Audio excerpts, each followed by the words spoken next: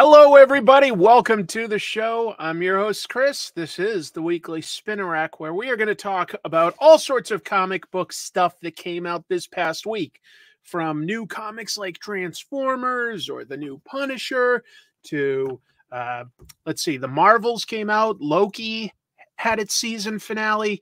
Uh, and there's just a ton of interesting comic news to riff on. If there's time, I'll also draw. I would like to. Let me do some shout outs to people that are here early. Lovely to see everybody in the uh, in the chat. Thank you so much. This channel's almost at 10,000 subscribers. That's that's a nice little achievement, I think. Uh, thank you all for for jumping in. Appreciate it. Lovely to see uh, a mix of new faces and and uh, familiar names. That's awesome. Uh, we're gonna have a good time tonight. We always do because uh, I do this caffeinated coffee. That's the secret ingredient. I just realized that I don't know where I put the latest issue of Transformers. I've got a bunch of the comics that came out this week right here. And for some reason, I don't know where I put Transformers number two. And that one is kind of like the fun one to talk about. I love Daniel Warren Johnson's stuff, man. Uh, huh. Oh well. Uh, we'll deal with that when we get to it, right? Um, what's let's see what what happened this week. Um, I tell you what, I don't usually talk too much about what I do in my day to day life, but I'm kind of proud of something, so I wanted to share it. I still have a day job. Uh, you know, YouTube's awesome. It would be fun to do it full time. Um, but I have a real job and, and it keeps me attached to the real world. It definitely keeps me humble. And I and I love my coworkers and I and I usually like the work. Uh, I sell cars. I sell so I'm a car salesman in my day-to-day life. And um, uh, there are sort of you know levels that you can reach depending on how many cars you sell and like various statistics behind the scenes in terms of how you're doing well and uh, i reached a, a, a, pretty high echelon there called a diamond status and i'm just I'm, I'm honestly proud of it i've been doing this for over five years um, and uh, and it's cool you know i get i get paid a little bit more and i um if i want i can take out a car uh, that, that we have for sale i can just i can just it's called demoing it. And so I'm kind of proud of myself that I reached that level uh, at work. You know, um, maybe someday I'll do this full time, but I, I, don't know how realistic that always is. Uh, and I'm I'm just kind of proud of myself for um, doing that because most people uh, only stay in sales, you know, two years or a lot less. There, there, there's a fair amount of turnover, but uh, so I'm proud of myself. Uh, anyway, um, what else is uh, going on? just sort of fighting seasonal affective disorder. I, I, think I'm pretty upfront that, you know, I've got like depression issues, but that's okay. I think, you know, I'm staying on top of it. I'm eating healthy, getting some exercise, socializing as much as I can. So, uh, yeah. Um, anyway, that's just uh, what's going on behind the scenes. But uh, is there anything else? Well, tell you what, no spoilers, but let me just talk briefly about two Marvel things that happened this week uh, Loki season finale and the Marvels. Uh, first of all, overall, I enjoyed both. So if you're looking for me to come out of here guns blazing, uh, that's not going to happen. I'm, I'm really not here to take either of those projects down. I enjoyed both. I probably also can't, you know, um, shout from the mountaintops that these are the best products they've ever created. But um, let, let's deal with that one at a time. First of all, no, again, no spoilers. I liked season one of Loki possibly a little bit more than season two, but season two was really interesting in what it did with the character of Loki, and it ended in a great, very satisfying place. It really gave the character an incredible character arc and a journey uh, that had some real uh, depth to it. It had some real meaning. I was really, really impressed with with how it wrapped up. Um, and then um, that that's all I've got to say about that. Also, uh, the Marvels came out, and um, I knew that it was going to get plenty of outrage. You know, basically any of the superhero stuff that stars a lady or a minority tends to get that. Uh, you know, but but also like Marvel's been uh not as strong ever since they passed season uh, phase three. You know, it, it some of it I like, some of it's been weaker. I mean, Secret Invasion that was outright a bad TV show, just just outright bad, a waste of Samuel L. Jackson's talents, uh, to say nothing of his supporting cast like Ben Mendelsohn and stuff. Uh, just I don't have a recommendation for that. Fortunately, you don't need to have seen it to uh, uh enjoy the Marvels. Um, you know, Thor four was pretty weak. Uh, it, it was it was okay, uh, but it was a waste of somebody like Gorr, a great villain that was just sort of there. Uh, the Marvels I really enjoyed. I really enjoyed. I'd give it some something like a B, not a B plus, not a B minus, a B. Uh, I think that that's pretty darn good, though, all things considered. This is somewhat popcorn entertainment. Uh, I think that every scene Ms. Marvel was in, Kamala Khan, you know that actress Iman Vellani just stole stole the scene. She's really really entertaining, really really good. Um, you know, special effects are are solid. There's nothing weird about them or anything. Um, villain wasn't too much of anything, but wasn't really the overall point either. Uh, you know, good enough, good enough. Uh, maybe it could have been elevated another level with another villain, but that also would have increased the runtime. And this is like, you know, pretty compact action adventure with some good character beats. I liked all the characters. I thought that there were a few funny moments. There's a scene with a bunch of cats in it. And, and I won't get into exactly what it is, but there's a bunch of cats in it and it's an action scene. And the music choice was one of the songs from the musical Cats. So, yeah, that's a meta level. But uh, again, the original Captain Marvel had Captain Marvel fighting in the 90s and they played like, you know, some Gwen Stefani song. So, you know, it, it, it makes sense. It makes sense. Uh, anyway, I, uh, I do recommend it, folks. Uh, we're going to get into a little bit of the news on it.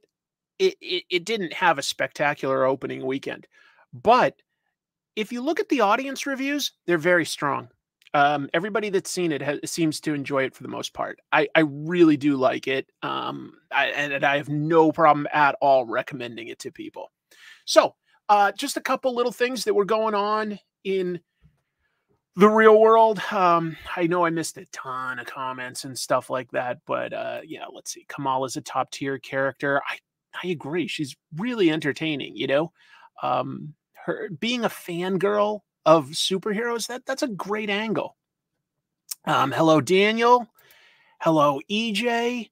Uh, let's see. I haven't seen any movies on the first two weeks for a long time. Just so more. Yeah, uh, this one's good. This one's good.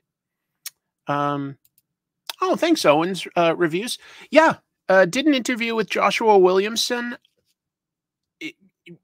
If you're curious, like I think we had a really fun interview um, talk a little bit about his creative process, his introduction to comics, and his background with comics. Uh, talk a fair amount about the upcoming Energon universe and his role with like what he's deciding to do with GI Joe. Uh, that's kind of the the focus that that I went with on this interview. Easily could have talked, you know, for for ages about all the DC stuff that he's done, or you know, his his introductory. Uh, um, creator owned comics, but he was a really nice inter- interview. Uh, I hope you uh, get a chance to check it out. I think I think it was a lot of fun, and you can learn some stuff. Let's see. Um, the Marvels probably had the least developed villain since Kaecilius and Doctor Strange, and her evil plan is cribbed from Spaceballs. Uh, there's there's some truth to that, um, but you know I also don't think that every single movie needs to use an A-list villain. Uh, especially not when we're like planning on continuing to make these movies. You know, like there, there are lots of comic book issues that have Spider-Man going up against, you know, the kangaroo or leapfrog. Uh, some sometimes you don't need to have the uh, the top tier villain. You, you save that for something you build up to. Anyway, uh, that's a lot of me talking about me, isn't it? Um, I have not seen The Killer. That's the new one um, with Michael Fassbender on Netflix. I'll, I'll see it if I can. Uh, yeah, tricky.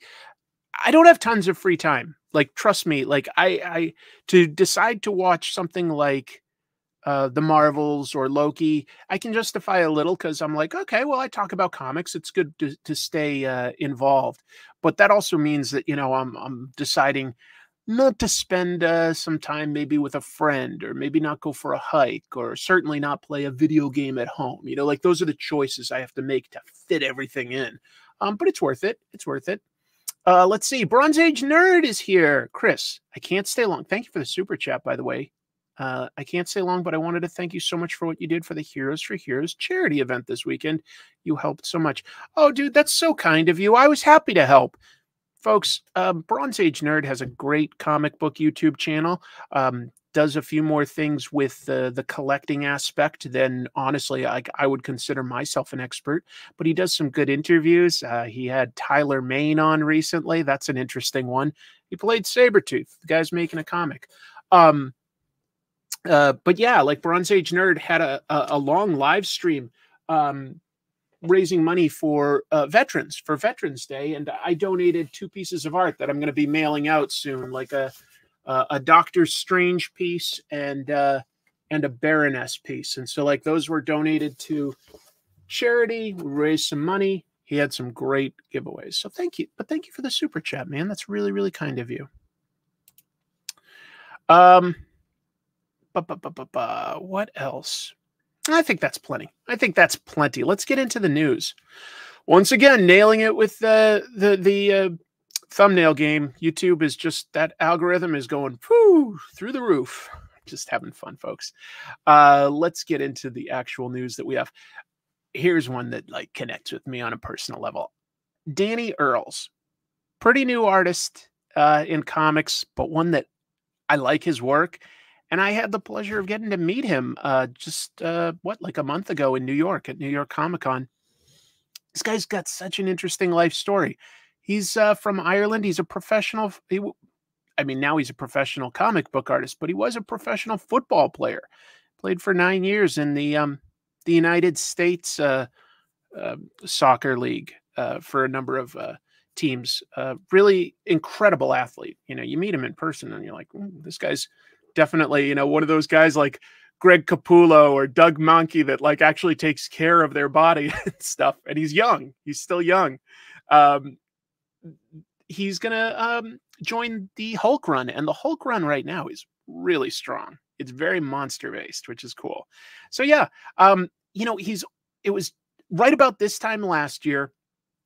Gail Simone saw his work at the Thought Bubble Comic Con that takes place over in, I think the town is called Harrogate, but it's in, in the UK. Okay. And she loved it, as well she should. Uh, a lot of pros have a good eye for talent and, and started talking him up. And uh, he got a lot of gigs uh, in the last year. Uh, covers for No One, uh, seen right here. Uh, did the recent, just like within the last month, um, Aliens, graphic, not graphic novel, excuse me, um, one shot annual. Did a Darth Vader story. Did a cover for Big Game by Mark Millar. Big projects. He's making a name for himself very quickly. This is all in less than a year. Uh, well, he announced this is like a little tweet that he has up here. Uh, he announced this week that he's going to be drawing Incredible Hulk for some issues after Nic Klein wraps up his current arc. I obviously forgot to put in the letter C there, but I did not mean Nic Klein's current R. That doesn't mean anything. That that's nonsense. I wasn't trying to make some sort of a pirate joke out of nowhere. I meant to type arc. I made a mistake. You saw my first mistake. Congratulations for watching. Um, anyway, mm, really talented, lovely guy. Um, just just I'm, I'm I'm happy to see somebody that's like you know just passionate about this. And think, guys, to be a professional athlete, that's a pretty top tier achievement. You know, you, you, you, it's beyond just having good genetics. You have to have some real drive because of the competition. I do feel that that kind, that level of competitive spirit and and hard work can translate into other fields, and I think it's translating for him into comics. He's always loved comics he decided he wanted to be a comic book artist. He's making it happen very quickly. Kind of impressive. No, uh, let's just be clear. Nic Klein is not leaving the book. Uh, you know, comics uh, uh, require a level of detail where it makes it very hard to keep up with a monthly schedule. So it's just that um, uh, the Incredible Hulk run has already had like two fill-in issues by Travel Foreman. They're going to have some more fill-in issues uh, art wise by right now Danny Earls. Great storyline going though right now, where like just all these monsters throughout the Marvel universe are are honing in and hunting the Hulk. You know, we're talking everything from like zombies to Lovecraftian uh, kaiju sized demons uh, to things like uh, Man Thing. Uh, so it's really, really fun. Really, really fun. Um, yeah, if you want to see him do some interiors, again, I recommend his. Uh, it should still be out in stores. Uh, Alien. There was an Alien, um, like annual or one shot that just came out, completely silent, by the way. So that's an interesting uh, achievement in storytelling. Hey, it's uh, our old friend Steve Sorensen dropping in saying, "Oh hi, hope all is well. Give this video a like." Hey, folks, you know, I hopefully that's not a big ask. If you guys are willing to just take a second right now while you're watching to hit the like button underneath, that really helps the channel. Just so you know, that like shows YouTube that there's more engagement than just passively watching something in the background. Uh, and it means it recommends it to more people. And then I can get some ad revenue. So I'm grateful if you can do that. Let's move on with the news. Uh, there's a lot, a lot of fun stuff to talk about anybody that knows me knows that I am a big fan of Ninja Turtles.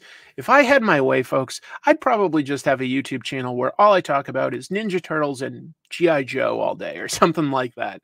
Um, fortunately, I think my interests uh, go a little beyond that, but but I do love that stuff. And this was just a fun piece of history. Oh, thank you so much. I appreciate that. It should be silent in space. No one can hear you scream. Good one, Joe Dent you guys can bring the jokes so that I can just sort of sleep through the show. uh, let's see. Ninja Turtles. Uh, a lot of people know that uh, Kevin Eastman and Peter Laird co created this 40 years ago now. 1983, folks, 1983. And that they met in um, the Northeast, really close, really, to where I grew up. Uh, they were living uh, not living together i should say in 83 but they were working together they were collaborating in 83 uh, and they that was in dover dover new hampshire little town called dover new hampshire. I believe kevin eastman who was a little younger was doing sort of summer work working like um you know at like lobster restaurants and stuff like that while um, Peter Laird, I think, was doing like political cartoons for a local newspaper.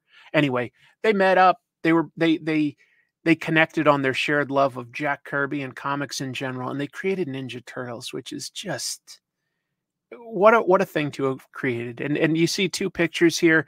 This is what the town of Dover did to uh, bring in a little tourism, I'm sure, but also, you know, to commemorate this uh, this achievement. Uh, and some of that is getting a manhole cover, which I got a kick uh, out of. So this happened just this past Wednesday. There was a celebration up in New Hampshire. I don't suppose I'm lucky enough that anyone uh, in the chat room was there. Uh, you probably have uh, spoken up. but yeah, for the 40th anniversary, they've got this what do you call these? Like, it's not really called a plaque. There's like an official name when a town has like a history uh, sign, a, a, sign about like their local history, but I can't think of what that term is right now. Anyway, so they've got that like um, spelling out the uh, story of the creation of Ninja Turtles, and they've got this manhole cover, which you know has like sort of a cutout design of the first issue and and some details on uh, its creation. So um, Kevin Eastman showed up there and he spoke about how he and Peter Laird started their Turtle Odyssey at 28 Union Street. Historical marker? A bunch of people are saying historical marker. I, I, I guess that is the term I'm, I'm looking for. A histor a marker. Yeah, I think I think that that's probably the term. It just wasn't coming to me. But anyway, I love Ninja Turtles. Uh, Dover is, you know, just a quiet town where you know people either retire or go for like more like the summer and stuff like that. But yeah, just uh, really cool to see it get to um, celebrate the turtles in a, in, a, in a way like that. Maybe someday I'll get there when I'm visiting family. We'll see. When I first put this news item in my working document for the week, I wanted to tell you guys about some Hellboy Christmas candy. But before uh, we got to Monday, it had all sold out. So the the the little uh, title I came up with here is that the it was going to just be like Hellboy holiday candy available, but it changed to sells out. So Mignola, Mike Mignola, the creator of Hellboy, teamed up with a brand called Chocolate FX to release Hellboy chocolates for the holidays. Uh, they did a commemorative tin with this new original artwork by Mignola. I love Mike Mignola's artwork. Um, they sold out within about a week of it becoming available. Oops. Of course, Erwin. Yeah, the, if you look at the description for this video, for for um, any of the weekly spinner rack, there's a PO box in the description. So if you'd like to send something like that, please shoot it to me. Every once in a while, I'll do an unboxing video on this channel and uh, take a quick look at something like that. So I'd, I'd I'd be flattered if you want to do something like that. So, uh, jumping back to Hellboy and Christmas here. Uh, here, here's what you would have gotten if you were lucky enough to to order in time. Uh, it comes with a bunch of peppermint bark. Love. I, I don't have candy anymore because I'm avoiding sugar. I have for a couple years, but boy, that would be. I love peppermint bark. I love Christmas candy. Oh well. Um, then they had like branded candies, you know, like little icons that Mignola did, and they would have had salted caramel, yum, almond praline or praline is really how you'd probably pronounce that. Pumpkin pie with graham cracker, eh, not my favorite. Creamy milk chocolate ganache, apple cider caramel. Never had that. That sounds fantastic. Uh, pistachio ganache with cherry pate de fruit. Maybe.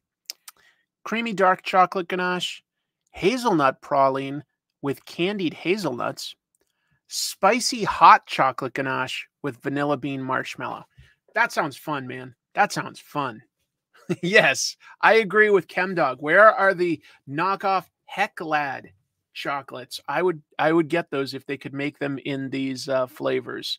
Yes, I know. I wanted to spread the word. I guess they had a limited supply. It's not, you know, Hershey's or something. They they they did a limited sort of pre-sale.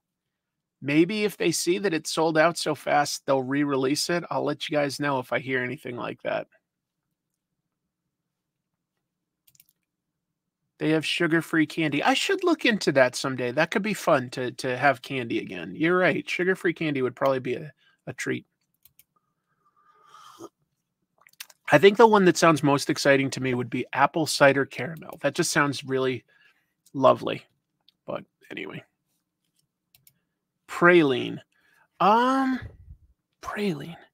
See, there, there were tons of um that that th- those cookies down in New Orleans when I went to college, and I thought that they pronounced it praline, but maybe it is pronounced praline. I don't know. Haven't thought that far ahead. No, I, I don't know what's for dinner. Good question. We'll move on to something that's uh, more available. Iron Maiden. If you don't know, um, Bruce Dickinson is the lead singer of Iron Maiden and is um, a big fan of comics, I guess. Uh, and there's a new project uh, that he's got coming out that's a comic book. And I wanted to mention it because it's got an artist I really like working on it. So, um, yeah, Bruce Dickinson is teamed with Z2 Comics. If you haven't heard of them yet, uh, Z2 mostly does comics, I think maybe exclusively does comics with musicians. They did like, you know, a Weird Al anthology and stuff like that. So, uh he's made he's he's sort of like overseeing the creative idea. He's not scripting or drawing it, but it's it's his idea. There's going to be a 12 issue comic series that will also be collected into three trade paperbacks uh, next year. It's scripted by Tony Lee, art by Staz Johnson. Guys, if you don't know Staz Johnson, just a fantastic British artist. Uh, has done stuff, you know, like Judge Dredd and Rogue Trooper over there in the UK, but has done stuff like Batman and um, I think Avengers. He's done a ton of Marvel and DC stuff too. He's great, really underrated. There's a few artists out there that I consider underrated, and I'm like sometimes surprised that they're not like huge icons or something. I'd, I'd say that like Staz Johnson and Lee Weeks are, are two that jump into my mind as as just great artists, artists, artists that you can really respect. Um, Maiden Rules, Staz is good. I'll have to look Staz up. He's he's fairly active with sharing his art on uh, social media. Um, yeah, he's he's really good. He's really good. So that interests me more than anything else for this. Uh, it's called the Mandrake Project. That's the overall idea. Uh, it's described on the Iron Maiden website as quote a dark adult story of power, abuse, and a struggle for identity set against the backdrop of scientific and occult genius. I guess that's a little vague. I don't know. Uh, one of the first things coming out for the Mandrake Project is an eight page prequel comic that will come with a seven inch vinyl here to promote the upcoming solo album and tour by Bruce. So, uh, if that's your thing, you can find more on Z2 Comics or on the Iron Maiden website. Um, main reason I'd recommend it is Staz Johnson's art. He's really, I think he's really good. He's really good. I would love to see Staz on some sort of like, you know, a, a traditional action adventure set maybe know around World War II because he likes drawing stuff like you know like um, Rocketeer and stuff like that. Hold on, my let me double check that. I thought I was might be having trouble uh, getting a full charge on the camera that's uh, there. Well, if it dies, I've got a backup camera. It's not as good resolution, but if it dies, I'll, I'll figure it out. I don't know. I don't know. Moving on. Uh wow.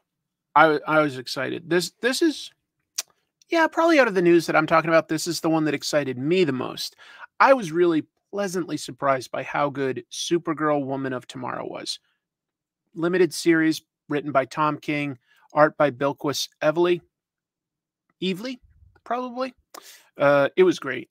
It was really good. But I'm not here to talk about that and I'm here to talk about them reteaming for a completely new project, uh, which you can see a little bit here. I've got an image. So it's going to be a six issue series through Dark Horse this time. Uh, it's called Helen of Wyndhorn.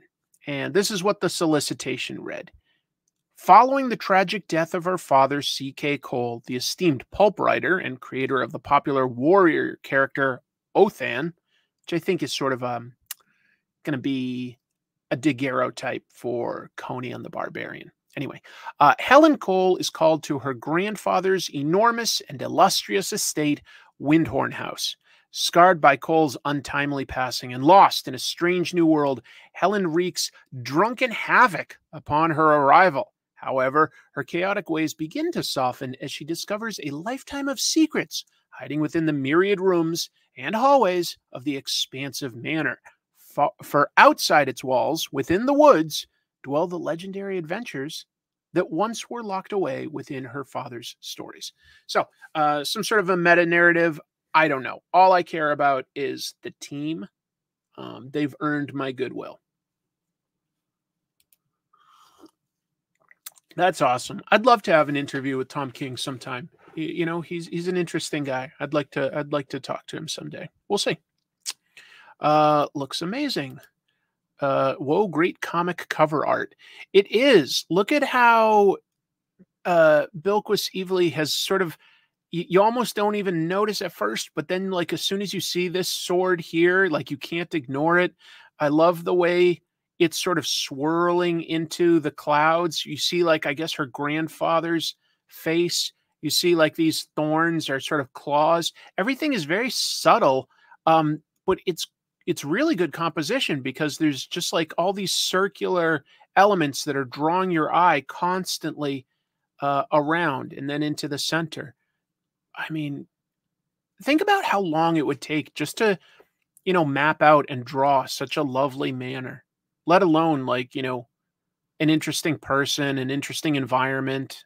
I don't know. Like sometimes the the fundamentals of art really impress me because you know, being somebody that at least draws, if not draws well, but at least draws, I, I just know the time and, and, and the imagination it would take. Hmm. I'm able to be here for one of these. Didn't think I would. Always happy to have you here, Care Bear Comics. Beowulf loves Tom King. I hope Tom knows. I bet he'd appreciate it. Looks great. Gonna have to add that to the poll list. I, I am too. Yeah, I who's okay. Uh it it's probably this name here, Matheus Lopes. that's the colorist. I don't know that for a fact, but it is great colors. I agree. Everything here is like a cool palette. Technically, there's like you know the yellows and the and the reds are a little bit warm along with this pink, so it really does make her pop uh, without being too abrasive. Really, really good. Anyway, uh, I I got excited because of the creative team. If you haven't read it, it's really worth picking up that Supergirl Woman of Tomorrow trade paperback. When James Gunn mentioned it, the sales on Amazon just went through the roof. Like James Gunn seems to mention one of these DC projects and it just ooh, skyrockets. In fact, last week we were talking about how DC Comics um, announced that they're going to make these things called compact comics, $10 smaller uh, digest forms, but like of full stories, you know, like 12 issue stories like Batman Hush, uh, Watchmen, things like that, uh, Far Sector. They should really uh, strongly consider adding Supergirl Woman of Tomorrow. It's it's more recent and new, but it, it, I think it would do well. Uh, let's see. What's his current book out? Uh, what is Tom King writing right now? That is a great question. I know that he's got an upcoming modernized take of Animal Farm because that entered the public domain. Um, that's not out yet. And we've got this Helen of Wyndhorn. I don't know what his sort of monthly is. He's probably doing something at DC, but I, I don't know off the uh, top. Oh, why am I so confused? It's because he's been doing like the um sort of like 12 issue limited series. Excuse me. So he had just wrapped up uh, the incredible Human Target, and now he's doing Danger Street. Although I think there's only about two issues left of Danger Street, but Danger Street is his current book. Danger Street. Oh, and Wonder Woman. Wonder Woman, which we talked about last week. Wonder Woman is very good. So Tom King's really been winning me over for a while. I, I, and I'm not trying to idealize him, but he has really been winning me over um, for the last couple years with like just consistent good ideas.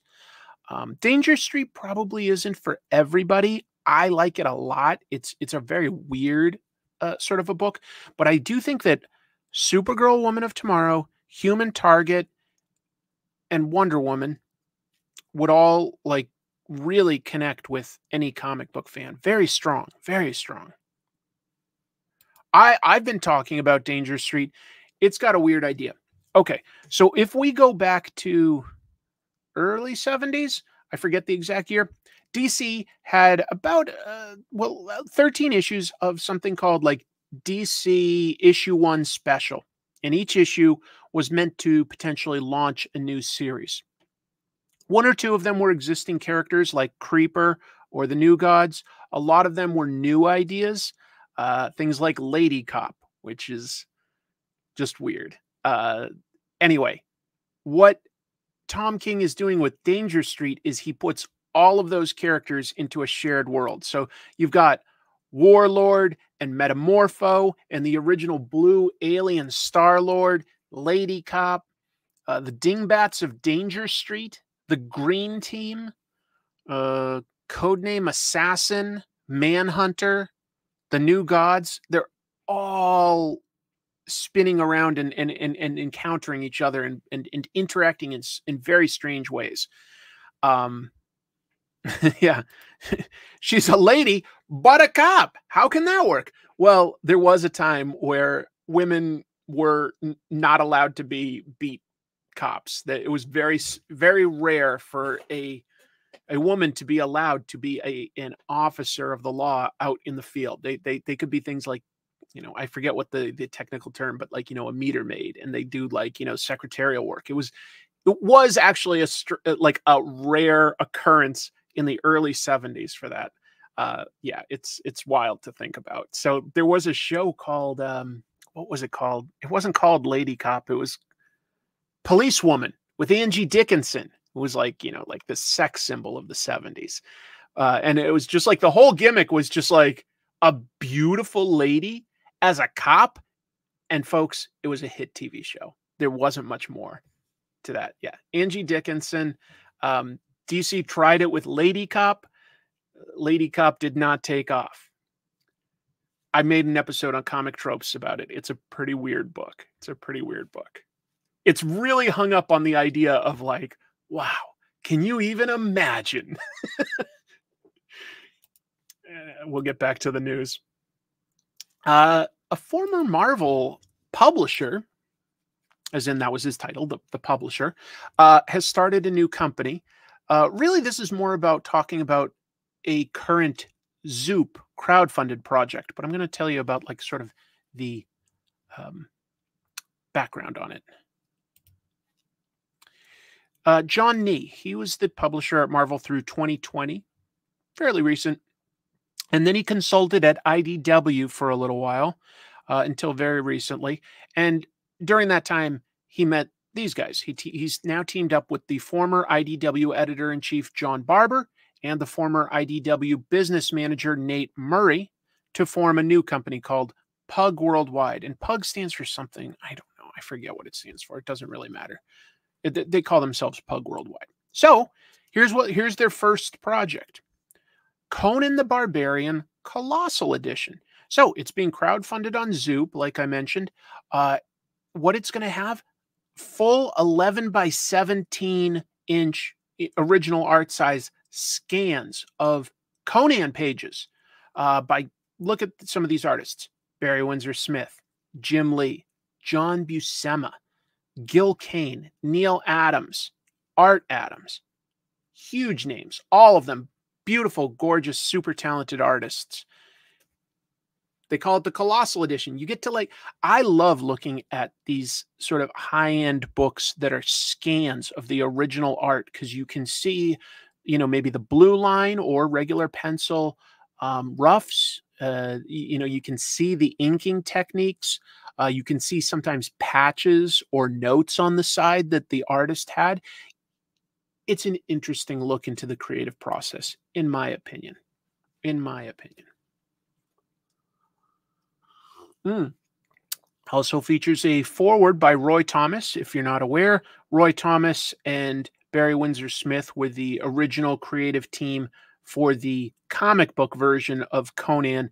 And I really don't think you can overstate that while they didn't create Conan, I really think it was them who popularized it. And of course, then John Buscema stepping in as the next artist. A lot of people uh, prefer his slightly beefier take on um, Conan. It was some of his best art no question in his career. But Roy Thomas, huge, longtime writer of the comic. Um, yeah. And, and, Conan is still, you know, huge in comics. Um, there was the the one good Arnold Arnold Schwarzenegger movie. A lot of people don't really remember that there was also a second really bad Conan movie. Uh, Conan the Destroyer uh, not so good. not not something I'd recommend. Uh, so it's like you know, are, are, and and I think people um, that the first one, Conan the Barbarian, that was a hit movie, but it was also like like before Arnold really was Arnold. That and the original Terminator are part of what made Arnold Schwarzenegger popular. But it wasn't until he was doing movies like Commando and Predator that he started to sort of become a superstar. Um, so I really think that like um, you know uh, Uh, the the comic is, is primarily what has made Conan so popular. Was Jason Momoa Conan? I think you're right. I think that they did make a Conan movie with Jason Momoa. I didn't see that. Right. Yeah, Arnold was in the Red Sonja movie, but he wasn't technically playing Conan that also wasn't great, in my opinion. My opinion. Um, that's awesome. That's awesome that you knew it uh, wait, you I know Conan through the work of Ray Thomas long before I read any of the Howard stories. Same, same. Um, hey, Robert E. Howard definitely created Conan, but I think in terms of fleshing it out and and making it a more, you know, popular character, I I think Roy Thomas, Barry Windsor Smith, and John Buscema deserve a lot of the credit there. A lot. Yeah, Conan the Destroyer was written by Roy Thomas. All I can say is that doesn't mean that it can translate into a good movie because in a movie, it's a lot of hands in the pot. And sometimes something great comes out of it, and sometimes it's not so great. I, I like a lot of what Frank Miller was doing in the 80s and 90s, right? Eh, I really can't claim that Robocop 2 and 3, which were written by Frank Miller, are that great two is watchable, I guess. yeah. Yeah, that's the original one. Uh, the original Conan the Barbarian is the one with James Earl Jones, and and he's like a really good villain in that. The scene where he turns into a snake, fantastic. Ah, that's what we we all want. Anyway, uh, just thought I'd mention this one though. Uh, there's a lot of different versions of it that you can get, but if you're a fan of any of these artists, I thought you might be interested in that. Um, and it's got a good pedigree in terms of the people that are putting it together. A good pedigree. This is more of a manga story that I just wanted to mention. Um, this gentleman that you see here is a prolific editor uh, for Shueisha, specifically through their sh- weekly Shonen Jump uh, books uh, and Shonen Jump Plus, I believe. It, it's worth noting that the editor in manga is v- typically very intimately involved with shaping the direction uh, for for a comic and um, really giving serious feedback and and more than advice, like you know, sort of telling the the, the writers and artists what they need to be doing to to make it connect and and to like have it make sense and, and go forward properly. Um, this is a very prolific uh, editor. Uh, name of Shihei Lin. Shihei Lin is an editor at Shonen Jump, uh, lots of hit titles. He shared on Twitter this week uh, that he had been in the hospital ever since November 5th due to a blood vessel um, behind his right eye bursting. So that, that counts as a brain hemorrhage. It's a pretty serious thing. Uh, you don't want extra bleeding going on uh, up in here. Uh, that's what causes strokes and stuff. So, um, yeah, you got to be uh, on the lookout for that. So, in this picture, you know, like it shows some of the stuff that he works on. Um, Spy Family. I love Spy Family. Chainsaw Man. I like Chainsaw Man. I don't love Chainsaw Man. I like it. But those are two hits that I think everybody's at least heard of. Yeah, I, I wonder. I wonder, is he overworked? I don't know, but let me talk about how he sort of shared this stuff. He he posted on Twitter that he's recovering. That's great. That he plans on slowing down a little. That's great. He also apologized for being slow to respond to emails. And it's sort of like, you know what? When it's your life and it's your serious health, uh, I think it almost goes without saying that people understand that you have to slow down. But the Japanese do seem to have a very strong work ethic, or at least want to be perceived as having that strong work ethic, perceived by each other at work. Um, so yeah, he sort of apologized, uh, which I don't think was necessary. As all I, I just want this guy uh, to recover uh, because I'm sure he's got a, a key role in the guidance of these ongoing stories. Some of the other stuff that he's managed, um, he's done like over a hundred titles. And of course, when we say that, keep in mind a lot of titles in Shonen Jump don't last that long necessarily. The readers vote every single week on what their top three favorites are. Those definitely get renewed. Um, and, and and and you know, like just because there's top three, then you're getting like hundreds and hundreds, if not probably thousands, maybe even millions of responses, probably just thousands, but maybe hundreds of thousands of responses. And so they all get ranked. And the ones at the bottom go on the chopping block. You know, if all of a sudden all of the readers started like not voting for one piece, it probably doesn't matter that it, it's gone for like you know 25 years like shonen jump would probably just be like okay tell you what we'll give you like a couple one shots to wrap this up but but it's cut. You know like it, it, it can be ruthless. Um but yeah here's some of the other titles he's done that have been turned into successful anime. I haven't read these so i'm not as familiar but hell's paradise uh jigakurako and kuraku and blue exorcist. Oh and dan dan dan. Dan dan dan is pretty popular yeah, exactly. Sorry I wasn't keeping up on my emails. I had all this blood spraying out of my ears and eyes and stuff, so it slowed me down a little. My apologies. Sumimasen. Hell's Paradise is great. Nice. Blue Exorcist. That's a throwback anyway, well, then that gives you um, an idea of uh, how much this guy does. So, anyway, I think that uh, even if we're not intimately familiar with uh, this gentleman, uh, that we all definitely wish him uh, good health and are grateful that it wasn't um, anything more serious. As long as I'm talking about manga stuff, here's an opportunity for people that draw in that manga style to theoretically get their foot in the door. Um, now it's it's to win an eh, the, the the right to have Netflix make an anime uh, or animated show based on your creation, but they need you to be the artist. So like here's here's specifically what they're doing. Um, Netflix and World Maker, and World Maker is basically like an app that can turn your drawings, your storyboard drawings into rough animations. Okay maybe rough is like to, doesn't sound right but but that's what it basically does.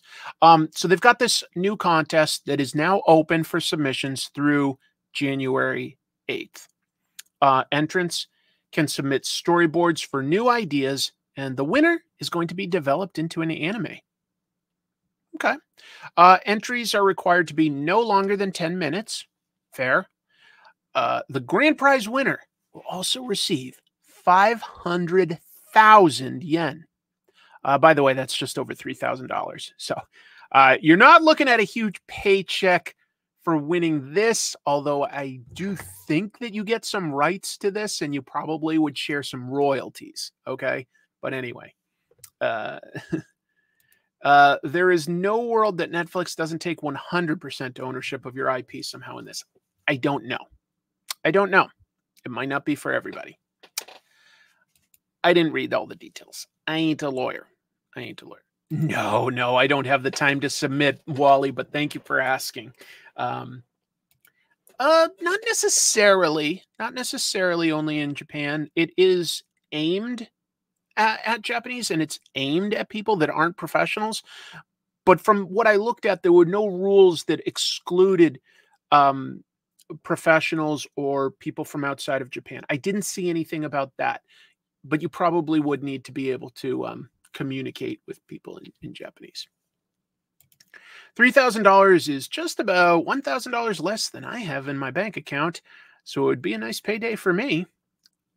It it's it's theoretically a way to get your foot in the door if it I, I whether it's worth it to people that's a personal decision. Yes, I agree that big companies typically take the lion's share of, of the profits and the rights. Hopefully, we get to see something cool. Um, they're uh, Netflix and Shonen Jump are going to uh, Shonen Jump Plus technically uh, are going to announce the winners in March. So, I did hear about that a Terminator anime. Hey, um, they, they've failed to continue the movies. How many times now? Like the third one's kind of stunk. The fourth one, Salvation, I didn't like at all. They did a fifth one, Genesis, that was garbage. Uh, I guess you could sort of argue that the sixth one was okay. The third and the sixth one were okay, maybe. Um, and they had that show, Sarah Connor Chronicles. Guess what? I do recommend Sarah Connor Chronicles. That was a badass, good show. But yeah, sure, go with anime at this point.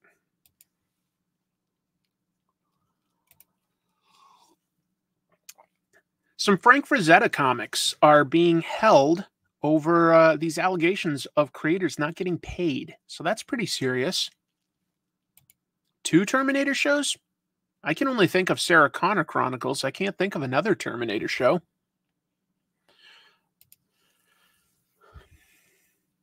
Let me um, talk about uh, these comics. So we're talking about the um, uh, comics that are put out by Opus Publishing. They're licensed from the Frazetta estate based on his characters, and sometimes the covers will be um, Frank Frazetta paintings. Um, it's it's pretty deep, but it's actually not necessarily the worst. Okay, it's not good, but it's not the worst. I'll, let me get into it. So, uh, first of all, this all started with German comic book creator Sadat Ozgen. I'm guessing. Sorry. Um, posting something to social media this week. He, has been working on Frank Frazetta's science fantasy and covers for Frank Frazetta's Mothman, Frank Frazetta's Death Dealer, all of them published by Opus Comics. Okay. Um, he alleged on both Facebook and Instagram, and it was a really long post, so I'm just sort of summarizing it in a, in a sentence or two. But if you want, I, I recommend reading, you know, looking up Sadat Ozgen and, and seeing what he had to say. But he alleged that he has not been paid.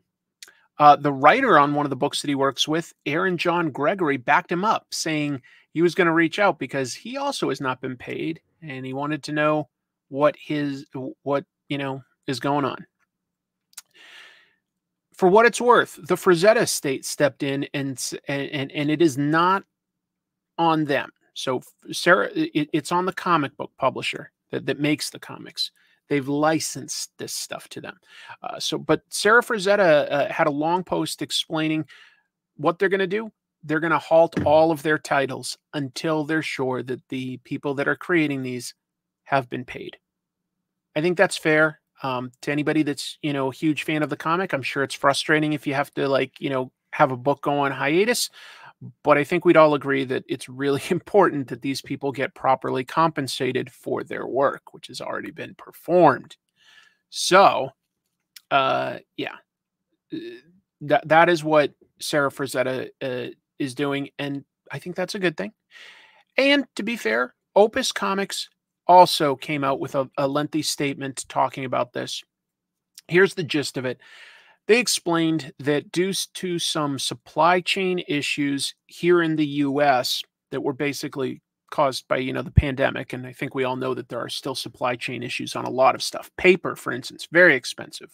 Uh, lumber and stuff like that for building houses very expensive right now still. Um, so they explained that like they had a us based branch that was overseeing the comics they were dealing with these supply chain issues they ran into some money um, issues and they they've ceased operations. The UK main branch has announced that they are taking over responsibility for everything and that they are going to make it right and make sure that all the creators get paid. That is their statement. It's not that they've made it happen yet. Um, at least they're not ducking anything that you know is a lengthy statement explaining what's going on and that they feel bad and they do agree that you know the, the creators absolutely should be paid and then they've they've pledged that they will pay them. I hope that is the case. Um, yeah, I think Sarah Sarah reacted very quickly to it. You know, like within 24 hours, she she had like you know issued a statement of like, guess what? If they're not getting paid, you know, we're not we're not like allowing any more comics to come out until that gets uh, resolved. Good morning from Western Australia. How amazing! Well, uh, good evening from the United States. Never a good sign when a publisher is slow to pay creators. Nope. I think it is a, a cash flow issue. Um, that said, it is a bigger company than just something called Opus Comics. They're owned by a big record label. Okay. Uh, something like Incendium. So there should be funds to make this right. Um, it sounds like a bunch of red tape happened. You know, they they had a subsidiary uh, in another country that dealt with some serious issues and they were the ones responsible for making the payments but they just didn't have the funds they they ran out of money uh, the parent company is like okay you know we tried to do this through a subsidiary guess we got to do it ourselves i hope this all, all, works out i hope this all works out um, yeah, what else can I say? I hope it all works out. But I'm spreading the word so that there's some more accountability, right? Like there's more of us aware of what's going on with this situation. So if we hear any follow up, we'll sort of know where things are. Uh, because sometimes it's the pressure of people, you know, either buying and not buying things and commenting on social media relentlessly that makes things happen, unfortunately. Uh, I hope that these creators get paid soon because working in comics until unless you're at the very top you know it can definitely be a thing where you're not in a position to float a, a few months bills. You know you need to be paid for the work that you've done. Um it's crazy there were some comments by the marvels director reacting to the various um, sort of accusations or at least criticism online about the Marvels being a quote unquote woke movie, which is obviously a very nebulous term, uh, very nebulous. But let, let's let's make a little sense of what was what's going on. So the Marvels, uh, these are just facts. First of all, it debuted to well, I said the lowest ticket sales for an MCU movie. It may be second lowest. I think that The Incredible Hulk, and that's going back to like what 2008. That, might have had. Oh no, you know what it is? The Incredible Hulk had a lower first day, but the Marvels has a lower weekend. Yikes! But there's obviously some contributing factors to where things are in movies right now. Uh, let me pause to acknowledge this. Thank you, John Dorsey, for the super chat. Watching my Broncos. Uh, yeah, that's right. I'm I'm competing with Monday Night Football this time of year, uh, but can't resist the pull of the best comics live stream on YouTube and the assorted delights of the tropes verse. Hope you and the lady are well, Chris. Lifetime fan. Thank you, John. I'm well. Chrissy's well. Our cats are well. We're doing good. We're doing good it does seem to be to to me a meaningless phrase. I think it's just too broad for what what you know people that use it uh, mean. It, it's like anything that they don't like. You know, they they could look at IKEA instructions and get confused, and they go, "These are woke." you know, that's what it feels like. That's what it feels like.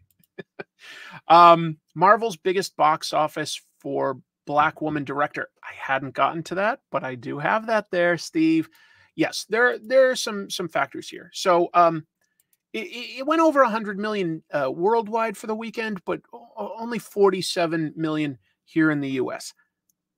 That's not huge. It's not tiny. It, just to be clear, it's not tiny, but it is for comparing against most MCU projects. It's not a great sign because what was the last one? Um, Quantumania, Ant Man three, and that didn't that did a lot of money, but it didn't turn a profit because they spent way too much. Um, but to be clear, director Nia DaCosta still has set a record here for the largest opening weekend for a movie directed by a black woman. That's that's not nothing, you know. Uh, what's the name of her first movie? I'm forgetting right now. I liked her Candyman sequel uh, slash reboot. I should have put reboot. It was, it was really a sequel. I liked her Candyman movie actually, but she did a movie before that uh, with Tessa Thompson, you know, who plays Valkyrie, and I'm I'm totally blanking on the name of it, but it's a good drama. Oh well, it it whatever. She she's talented. Okay, she's talented. Um, I am having trouble with the uh, battery on this um, camera. I'm gonna get another one ready while I talk. Um, what was I going to say? So, um, it didn't do well. At least it, we'll say that it didn't perform to Marvel Studios' hopes. That's probably the most accurate way to say this. Okay, uh, it didn't perform to Marvel Studios' hopes. Uh, I again, I, I said at the top of the show, I really liked it. I liked it a lot. Uh, there's a couple things that interfered here. First of all, uh, box offices everywhere are way down as soon as the pandemic hit. You know, like guaranteed hits in the past would have been things like, you know, a Fast and the Furious movie, maybe even The Flash with all of its controversy. You know, as long as it was like a big budget thing, you kind of could count on these things making a certain amount of, of profit. And um, people just aren't willing to go to the movie theaters as much anymore. It doesn't help that the timeline between for, for waiting for it to hit, you know, at least video on demand, if not like Blu-ray and stuff like that, is very small these days. Like the, you don't have to be super patient. If you don't want to go to a movie theater, you'll be able to see the Marvels on Disney Plus in what, like two months or something like that, something close to that.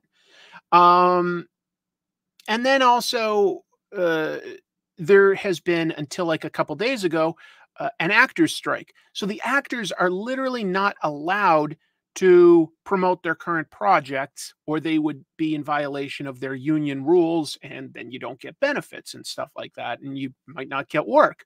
So you know brie larson until a couple days ago you know she couldn't go on like late night talk shows to promote her stuff. That was just that that hurts. Like you know you you people people need more than commercials to know that a movie is out there and to get excited. And that really is the things like the late night talk shows the morning news shows sometimes going on like YouTube shows.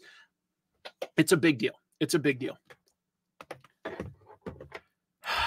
Immunocompromised, I can't see it in theaters and would have otherwise. Totally fair. Totally fair uh, concern. I'm just saying that there are things like, you know, yes, there are still movies that are hits, but I think if we look at like, you know, big budget stuff, it's not as big a hit as it used to be. Thank you, Michael Johnson Curry, for the super chat. Biggest issue is marketing. Barbie broke records during strike and post pandemic. Plus, Barbie was great. It, it did. You know, there's a couple things though. First of all, Barbie didn't cost as much. So that's smart. Uh, I think that studios need to find a way to make more um, small and, and mid budget movies. Uh, but um, it also caught a wave of you know, a, a really once in a lifetime sort of groundswell based on that idea of Barbenheimer. That like people like legit were just amused at like two wildly different movies coming out at the same time and both of those movies did well. I think if if they had been separated by a couple months that that would have hurt both of those movies. Like there wouldn't have been that same sort of awareness of people talking about this on social media the, yeah, meme culture helped those movies, uh, which is, and, and they deserve. Those are both really good movies. I'm sure that they're both going to be in my top 10 movies of this past year. No question, really. No question. They, they, they are. And The Marvels is not going to be. Um, that's fair. Yeah, I saw the creator and it was an interesting movie, but it still flopped. You know, like a lot of these movies just aren't doing well. Like, wasn't it wasn't it this year that like a Fast and Furious movie came out in the summer and that kind of flopped? Uh, anyway, um, boy, am I get am I getting sidetracked with uh, just talking about like the the state of movies? Uh, we'll get back to to the actual topic here. So the director Nia DaCosta spoke with Variety, trade publication about um, film and TV and stuff like that, uh, speaking speaking about sort of the woke criticism. Here was her her comments uh, in quotes. There are pockets where you go because you're like, I'm a super fan. I want to exist in the space of just adoration, which includes civilized critique. Uh, she also said, then there are pockets that are really virulent and violent and racist and sexist and homophobic and all those awful things and I choose the side of the light. That's the part of the fandom I'm most attracted to. Um, I think all of us would probably say that. Are all of us, uh, you know, going to follow that? I don't know. Yeah, these, you guys are putting out um, a, a bunch of good things. You're right. Black Adam kind of flopped. Mission Impossible drastically underperformed. Mission Impossible. I mean, when does a Tom Cruise move, uh, Tom Cruise movie underperform? Because uh, it was a pretty good movie, honestly. As far as Mission Impossible goes, it was it was fun. It was fun. It didn't do well, and the Marvels um, probably isn't going to do well after this opening box office. The only thing that might help is it is getting good word of mouth overall. If you go to something like Rotten Tomatoes, the overall um, uh, viewers uh, score was like I think 86% the last time I checked. Pretty good. I liked it. I liked it, um, but not everybody did. Uh, adding a little, oh, adding a like to help the stream. Thank you, Michael DeFonte. Thank you so much. I know I love Mutant Mayhem. It's so crazy how some of these uh, movies just aren't doing that well. Um, so Uh, Ohio gozaimasu. uh, let's see.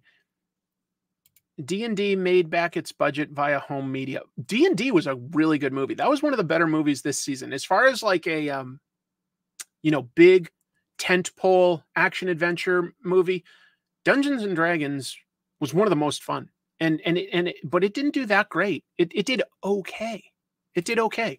So, you know, you can pick and choose your facts here. You know, you could say like the Marvels bombed, and that's not that's not inaccurate. That's not inaccurate. But I don't know if it's fair to say that it's because of who's in the movie or, or, or something like that. You know, um, because a lot of movies are not doing well. Just something worth um, mentioning. I think you have to be very specific with why something doesn't do well. Um, I think the promotion was a huge element of this one. Uh, I, I, think it could have performed a lot better, uh, and I and I do think it's a good movie for what it's worth. I don't think it's a great movie. I'm not saying that. I think it's an entertaining movie. I love going to the movie theaters, so I'm I'm a little also biased. I like this stuff. Mm bear with me. I'm going to do something here, and um, I'm nervous about my uh, charging on the camera. So I'm going to switch some cords around here real quick, and I'll take this off so that you're not just staring at something that we're not talking about anymore. And I'll be right with everybody. I just want to uh, be sure that the camera doesn't die while I'm doing a live stream, you know? So, how many people in this chat actually went and saw it, by the way? Like, only let me know if you actually went and saw it, because I'm going to guess not a lot, but you never know. You never know.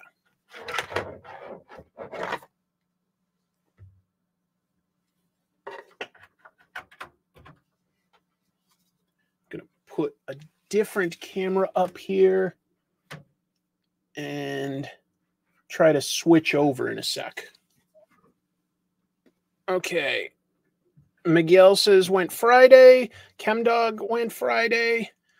Um, Crichton says I got spoiled on the post credit scene. I'm not talking about any of that. I don't want to spoil it for you guys. All I'll say is all the post credit stuff was great. It was really cool. Oh, by the way, you know, while it, it's not really talking directly about the, the the like anything that would be a spoiler, but um, the uh, the movie does pull together a bunch of the stuff that Marvel's been putting out in like their shows and movies lately. It finally brings a bunch of that together, which I kind of thought was good. But uh, let's see, I'm gonna I'm having trouble getting the camera there to aim. Let me go into my settings here and I'm going to swap this out.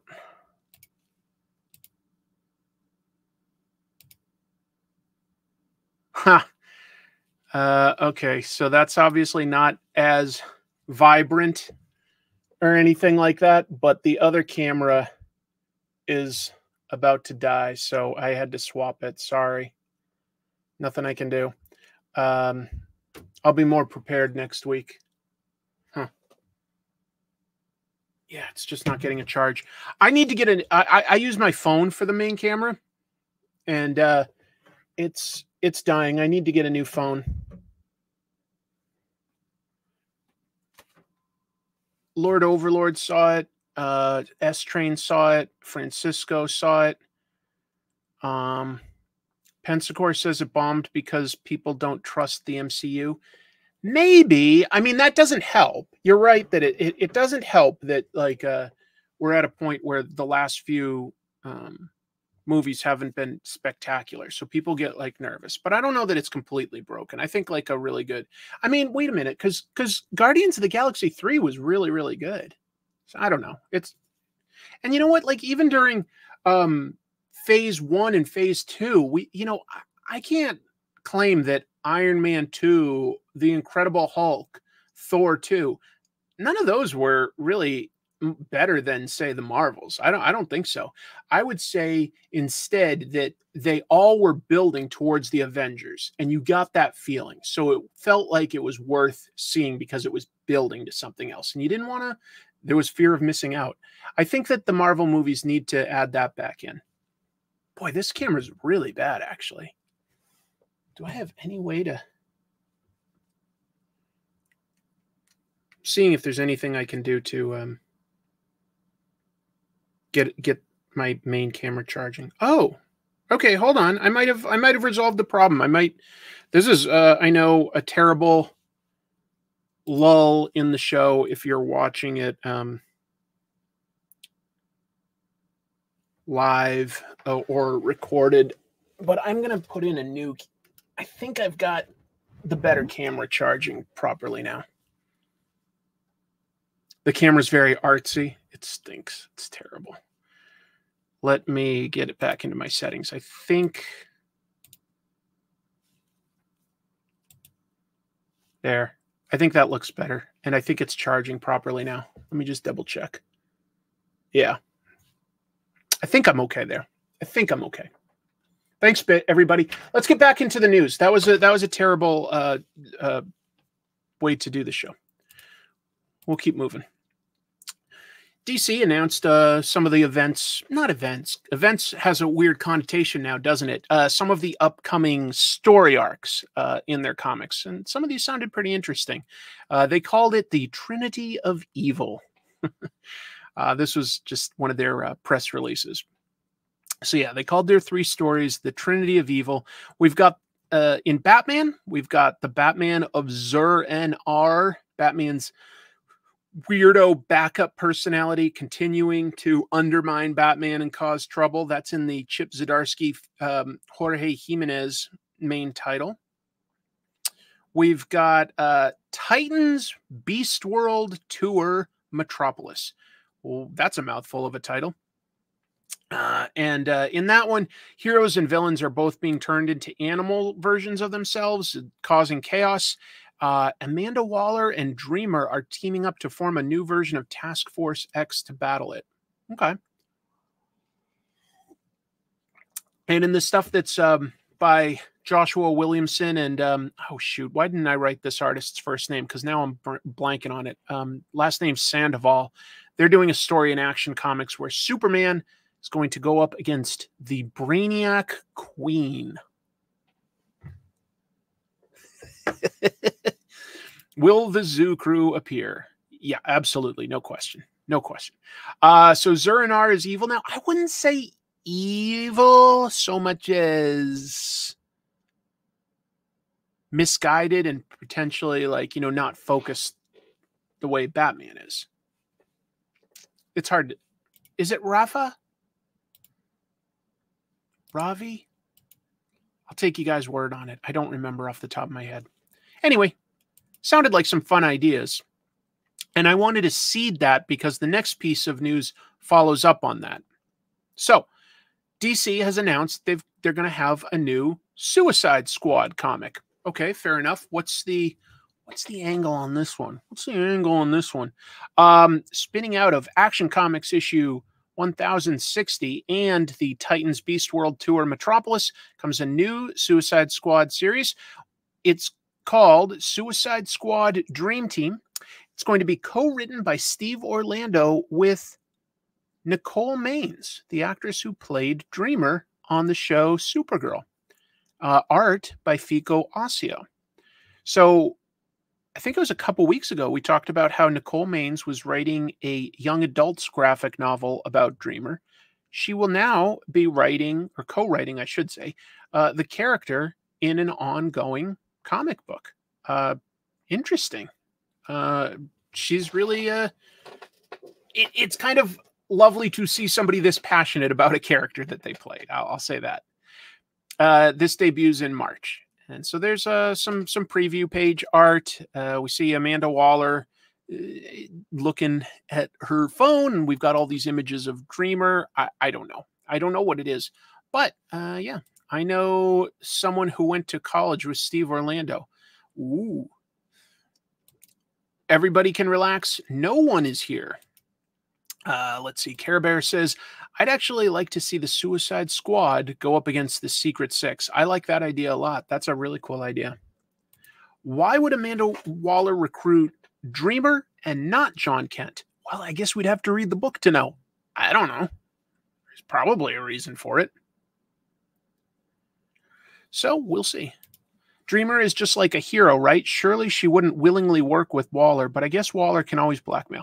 Hey, um, Suicide Squad uh, has a long history of heroes working alongside the villains um, and villains moving towards becoming the heroes as well. You know, Bronze Tiger was definitely more of a villain originally, became eventually more of a hero, joined the Justice League at one point, if I remember right.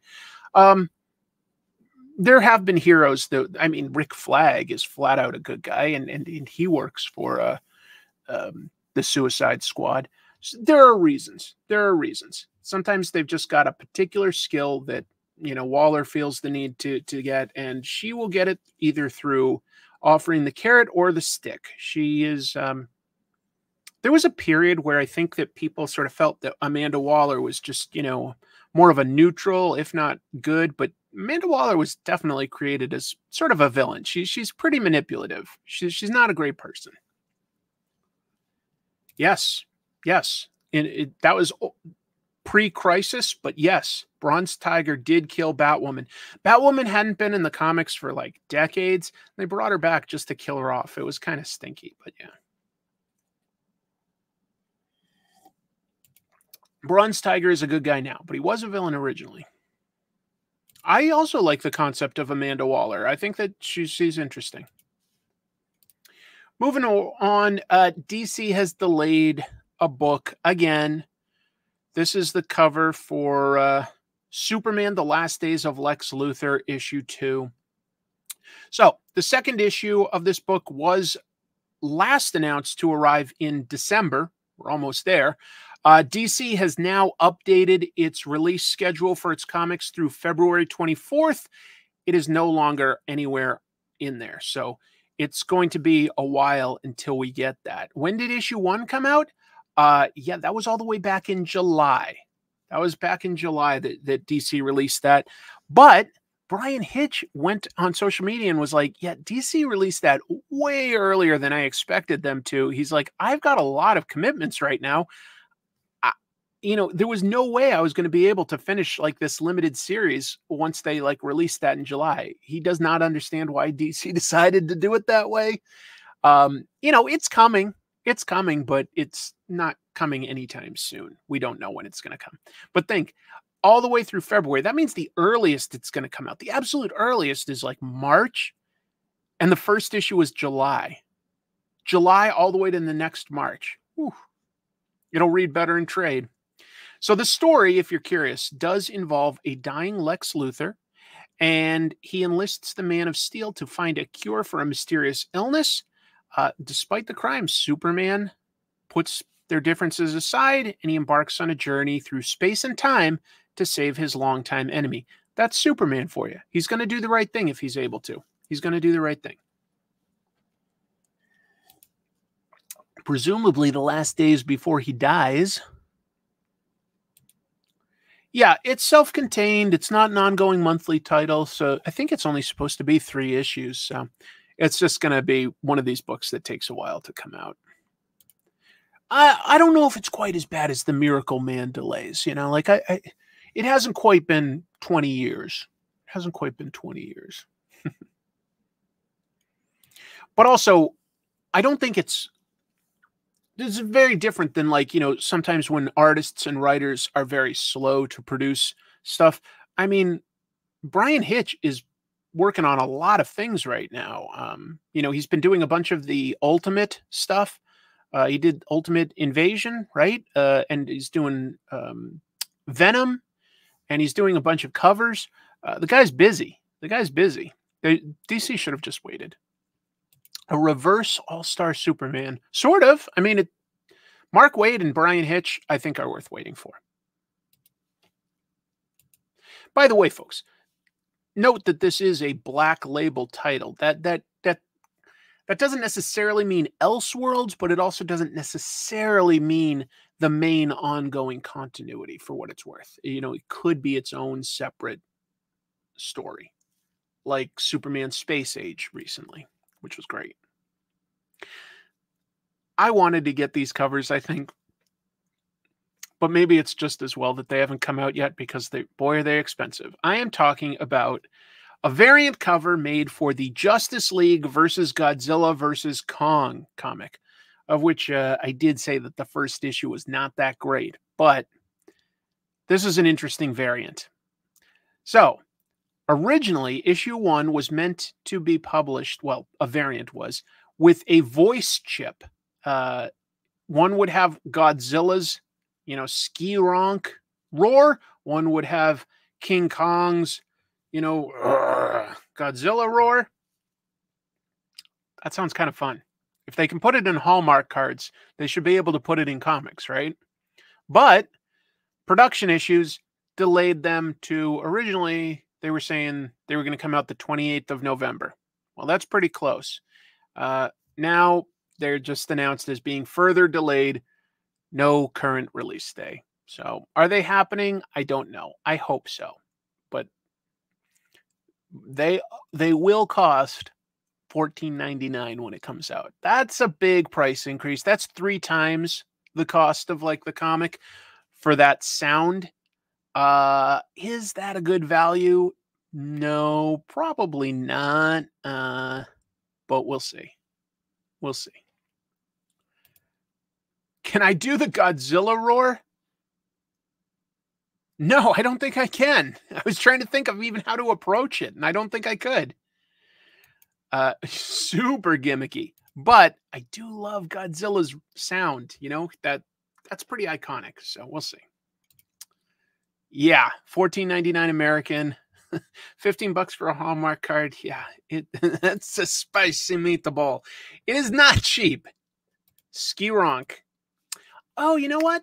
I don't have it here in the news, but as long as I'm mentioning Godzilla, there is Godzilla Comics news, so I'll just uh, focus on me. I forgot to put it in there. Marvel uh, got the rights to reprint their Godzilla run. Yes, uh, I made an episode about it on Comic Tropes. It is a bizarre take on Godzilla, but they did a year long 12 issue series where Godzilla goes across America. He he lands in like San Francisco and he just tears across the country till he eventually gets to New York and fights all the superheroes, you know, the Avengers, the Fantastic Four, the Champions. He fights all of them. It's uh it's pretty cool to be honest. It's it's weird. Uh Herb Trimpe did the art and his his take on Godzilla, his his interpretation of drawing him is uh is different. You know, it's not it's not on model. It, it, he's a big giant, you know, Tyrannosaurus Rex green lizard thing. Uh, but it's still recognizably Godzilla. Written by Doug Moench, great writer. You know, he was doing Shang-Chi and Moon Knight and stuff then. Um, yeah, so uh, they are reprinting that as a trade paperback, uh, a, a Godzilla omnibus. Marvel seems to have been doing a bunch of licensing deals lately to to be able to reprint some of this stuff. You know, they've got Rom coming back, uh, you know, reprints, but like Rom and uh, Micronauts, and now Godzilla. So all their big stuff that was licensed in the 70s, they're they're they're bringing back. Uh, anyway, yep, yep. They introduced the the mecha Red Ronin in it, and by the way, technically that version of Godzilla does still exist in the Marvel universe. This this evil supervillain in it is called Dr. Demonicus, and he mutated Godzilla into looking different. And they, they call him something else. But that monster still exists in the Marvel Universe. I think he showed up in an issue of West Coast Avengers back in the 90s, if I'm remembering right. But yeah. I don't know about that. We are getting a collected ROM. We are. Yeah. They announced, Marvel announced that they are, they, they uh, I think in 2024 we're getting an omnibus or a couple omnibuses. So yeah, an oversized hardcover. Very cool. Nice to see you out of Voida. So yeah, could be fun. How long until they reprint the Shogun Warriors comic? I think that of the licensed things, that's probably the one that like people would know the least about. Rom and Micronauts have like probably retained a little bit more pop culture uh, memories than that one. Yeah, uh, I have uh, Jack Kirby's 2001 adaptation and his ongoing comic series. Uh, that would be cool if they brought back. Probably not likely, but who knows? Who knows? Mm, didn't have any uh, plans to talk about Petrol Head. Sorry. Uh, let me get back to wrapping up the news, and then we'll talk about some of the comics that came out this week. Uh, MCU, the, the the Marvel Cinematic Universe. Uh, since they got past they being Hollywood, since Hollywood got past the actors' strike, that means that they know that they're moving forward now. And instead of just coming up with like a release date that could have had to shift again, they've now been able to say, like, here's when their movies are coming out. And um it's shifted back pretty far, just to be clear. So, first of all, um, th- this is talking about 2024 and 2025. Okay. So, first of all, 2024 is only going to have one MCU movie for the whole year Deadpool 3. Uh, that's coming out July 26th of 2024 now. But that's going to be the only official MCU movie that in, in all of 2024. Everything else got pushed back. Uh, Captain America Brave New World, that's going to come out February 14th of 25 the Thunderbolts in July, July 25th of 2025. Blade is being pushed all the way to November 7th, 2025. And you know what?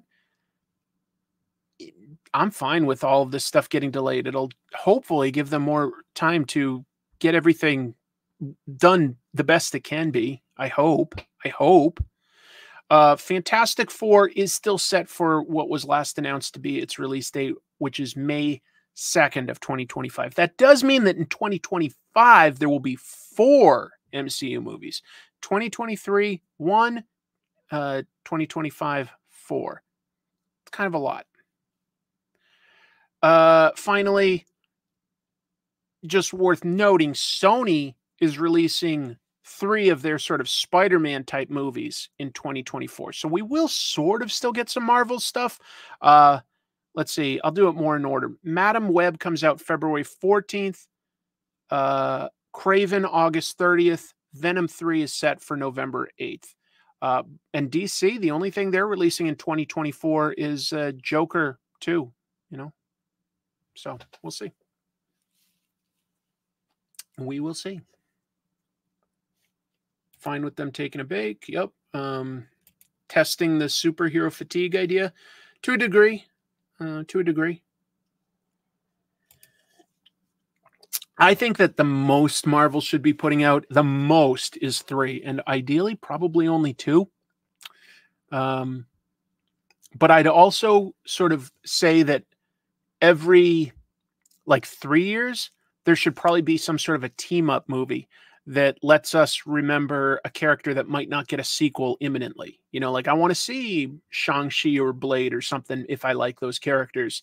Uh, so that's, I think, I think that they should have sort of an Avengers or a Champions or a Defenders type of movie uh, every three years or so and, and like bring in some of those characters, even if it's a small cameo, just to sort of go like, no, they're still out there. Something like that. I don't know. That's what I would do, but it's who knows? Who knows? Who knows?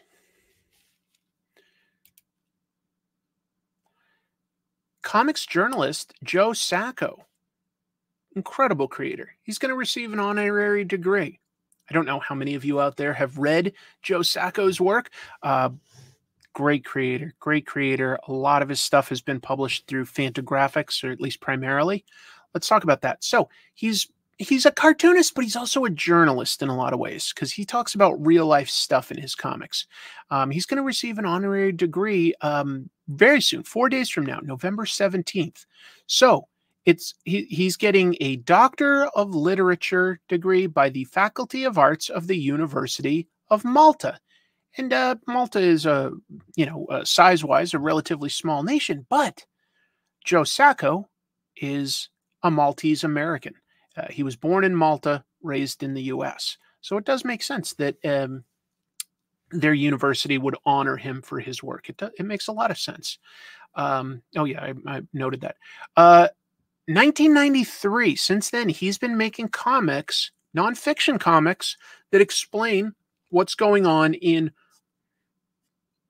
war zones and conflict zones. Um, stuff like in 93, he did a book about Palestine.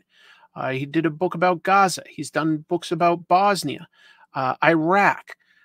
Very interesting stuff, very serious stuff, but very, you know, helps helps you understand. I, I love reading nonfiction and comics.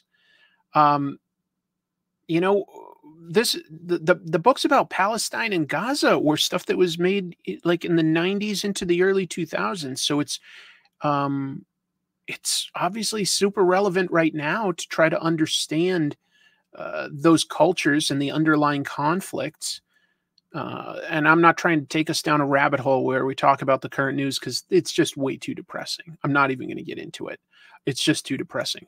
But I do recommend his books. They're quite interesting. You know, I mean, we're talking about life and death, real world stuff, and it. But it helps. You know, he he really applies a journalistic integrity. He went to college uh, in, I think, Oregon to study journalism.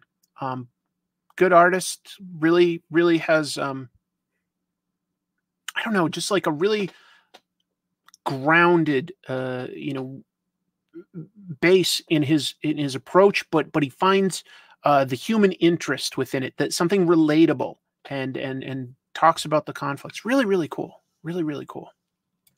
Uh, Joyce Brabner, sure. Joyce Brabner, yep. Oh, Joe, Joe in, fact, since you mentioned that, like um, Joe Sacco also did do some of uh, Harvey Pekar's comics, um, American Splendor, you know, like illustrating Harvey Pekar's story. So he's had a unique career. Oh, yeah, I've read Persepolis. It's fantastic. Fantastic. He's a real life Corto Maltese. Kind of. Kind of. Yeah. Uh, I saw Sacco speak at the University of Oregon like a million years ago. So it was the University of Oregon that he went to. Got it. Yeah, it had to be. Yeah, I'd prioritize uh, reading it. I think you could get something out of it. Anyway, just thought I'd uh, acknowledge that. Good for Joe Sacco. Um, that's really nice to see him getting uh, such a nice degree. Jeff Lemire has vowed he's never going to work in TV again. Why is that? Well, First of all, writer and artist uh, Jeff Lemire has had his work adapted into TV before. For instance, uh, Sweet Tooth at Netflix. That's a pretty uh, successful adaptation of something he wrote. Uh, he was speaking this past weekend at the UK convention Thought Bubble about how stressful the TV adaptation of his work, uh, Essex County, has been it doesn't sound fun for him. So, uh, if you haven't read it, Essex County is a trilogy of uh, graphic novels. It's based on his life experiences growing up in Essex, uh, Canada. And uh, the Canadian Broadcasting Company, the, you know, the main channel in, in Canada, uh, licensed it to adapt it into TV. But it has taken a long time. Uh, something Lemire said at the convention this past weekend, quote, Originally, I wasn't going to be involved at all. I was going to be very hands off. Uh, but he said that basically they did like some sort of a pilot or something, and he was like, "It doesn't feel right. It's it's it's not accurate." Like it, and so he uh, he stepped in and became the showrunner.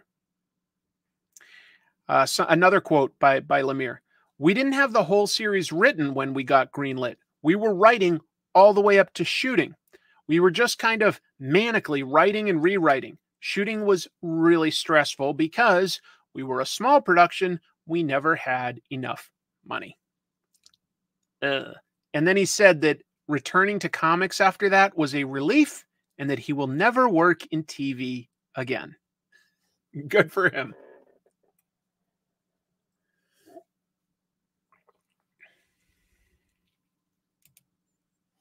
Uh, pretty sure Joe Sacco did do some stuff with Harvey Pekar. Do, do I not have that right? Let me just uh, do a quick Google search.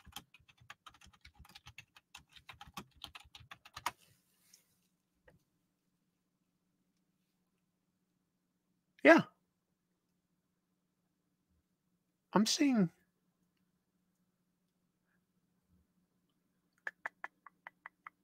Yeah. Joe Sacco did do a little bit with uh, Harvey Pekar. I've got that right. Yep. Just wanted to double check. Anyway, that is a decision I can respect. Oh, well, just to be clear, his stuff can still be adapted. He's saying he doesn't have any interest in being the one that's like, you know, overseeing it all, that he preferred to just write comics. And that's totally understandable. We're almost done. Uh, let's see. Uh, Mark Millar had an interesting idea for you know he he's always by the way posting ideas on how he thinks the industry could do better. And i don't always agree with all of them. For for instance um i think he was saying something not too long ago that like you know um marvel and dc should be getting guys like um joss whedon and john byrne again. And i was like that sounds like a big step back I, I could be misremembering the, the exact creators. I thought that those were the two he mentioned. Um, but he also has an idea that, you know, when when Marvel and DC do well, uh, the entire industry does well. And I think that there is a big part of truth to that. And I think that this idea was pretty interesting. This is this all comes from a series of tweets he did this week. So let's talk through it. Uh, he says, I don't have any skin in the game as I've worked elsewhere for a long time, but I've got a lot of pals at Marvel and DC and hate to see them struggling like this. I offer this advice in good faith in a bid to help supercharge both freelance deals and the corporations themselves. It's this this continues his his writing. Uh, this is all a quote from Mark Millar. And if you guys don't know, I mean, Mark Millar's written tons of stuff that it's pretty well known, uh, especially for its adaptations. Um, what uh, the Kingsman, uh, Old Man Logan. Um, where, where do I even like begin? There's just so many. Uh, Kick Ass, uh, tons of stuff, tons of stuff. Um, it's crass to talk money, but it's also shocking that the people writing and drawing the top books are earning a fraction of what my peers and I earned on those titles 15 years ago. I made $1,000 a page plus royalties, but I'm hearing from guys on $90 a page, and that's criminal. I'd love to see that cited, but you know, it's not his place, I guess, to say what somebody else said they're making. Uh, now, the comic market has collapsed in the past five years, and these companies have less money to pay staff and freelancers.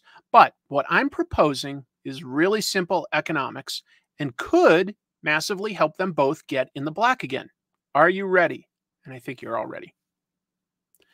Uh, they don't have the money at the moment to jack up their page rates, but it would cost them literally zero if they revolutionized their royalty deals.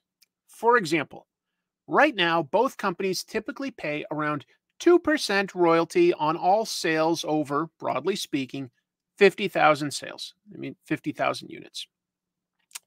Given that just a handful of Marvel and DC books sell over 50,000 copies a month, this means almost no royalties are paid out. The number is almost abstract, and as sales decline, this seems to be a race to the bottom in terms of talent they can afford. These are valid concerns. These are valid concerns. I think that definitely there was a period where people could get paid stuff like that. Yeah, I think that there probably was. I, I, I believe him there. Um, let me complete his his his idea here. My suggestion is that if one of these companies swaps that 2% royalty for a 50 50 split with the creative team on all sales over, say, 60,000 copies, they will send a bolt of electricity through the industry and bring in the most commercial freelancers in the biz again attracting top talent. But it would be absolutely dwarfed. Uh, wait, I skipped, didn't I? Uh, blah, blah, blah. A creator can make decent money on even a modestly selling creator owned book, but it would be absolutely dwarfed by a 50% split on X Men or Spider Man with sales taken into the stratosphere. They could make literally millions per year for both company and talent. The beauty of this is that it would cost the big two nothing as it's zero fiscal outlay up front. It's just talking about royalties. The double win is that they're getting 50% of a potentially huge number instead of a spiral to the depths where they are right now. I don't agree with all of his analysis here, but it is an intriguing idea to massively up the royalty rates. Some of the trick there is that that that would bring the top talent first of all. Of course it would. Big paydays are going to bring, bring the best talent and they could like get a lot of those sort of mid-tier books, you know, like I don't know. You get um a really popular artist like I, I, who's who's who's like super popular con- consistently. I don't know. We'll just say like you know guys like uh, Greg Capullo or Daniel Warren Johnson or who who are some newer artists that I should be listing. I, I'm trying to look. I don't know. Um, Leonardo Romero. I I don't know. Maybe even get people for, from manga for all I know. You'd attract them. Does that mean that because there's more talent that that would increase sales that much or is there still sort of a cap on sales until we can get distribution figured out right you know just because you have the best artist in the business on the superman title is that going to raise it up to like 500,000 sales a month or was that going to take some time figuring out a few other elements of the equation that's my that's my biggest concern here is that there are other factors. Um, right? Yeah. Good. Good point. Um, Sean Murphy, Jason Fabok, Ryan Stegman, Tatsuki Fujimoto, Dan Mora. Great one. It's a good. It, it's it's not a bad idea in a lot of ways. I don't know if you even need to jump straight from 2% to a 50 50 split per se. You know, like, let, but let's ratchet it up. Let's ratchet up the. I agree. You're not paying them more up front. Let's ratchet up those royalties. It's not a bad idea in that regard. I, I agree with him fundamentally on the idea of let's ratchet up the royalty rate, and that can potentially uh, incentivize these creators to want it to sell better. But how do you incentivize the people that own these companies? How do you incentivize a Disney or a Discovery to want to invest the resources to get these comics, you know, into more outlets than just the comic book store so that you can potentially raise the units raise the income and, and maybe even bring down the costs of the individual issues. How do you do that? You can motivate the creators to do their best work, and that can increase some of the sales. But is that potentially just sort of eating at the existing base? You know, like is that just gobbling up some of the lower titles and making those go away and there's more at the top? Is it is it just building way more at the top and, and sort of getting rid of a bunch of the the middle stuff because the smaller like self-published stuff will always have its sort of niche but loyal audience. I don't know um it's i just thought it was worth um talking about a little bit. I, I think that he's got a big idea here that he's right there's no there's no big financial risk here necessarily. Uh at least up front. Um, it's it's. I just think that there are potentially a few more elements to the equation than just getting the best people to create really captivating books. I think you need to figure out ways that you could like get these monthly comics at an affordable price at you know your Barnes and Nobles and your Targets and your Walmarts I don't know if it makes sense to put them in a grocery store anymore. I don't like think of how because now they're competing for shelf space at that point with you know your your uh, Time magazines and your entertainment weeklies and stuff that always sell. I don't know. Yes, he is. He's saying like the profits of books over, say, 60,000 copies, the profits would get split 50 50 instead of just getting 2% of that profit uh, over a certain amount. Uh, so it, it, there's a there's there's a logic to it. I'm not against it at all. I just don't know if it solves the entire problem. But there is a, a good logic to it if you want to like build up certain titles, and maybe that does bring a bunch of people back to the industry. Maybe that does. I don't know. it's tricky. I, I don't know what people buy for magazines, to be honest. I, I feel like those are just some ones that I've, I still see on the news racks, but I don't really know. There are magazines that still sell well. I just don't know off the top of my head what they are. I agree with you. The Comics Code Authority did stunt American growth uh, in comics because they kept it all aimed at kids for more than a full generation.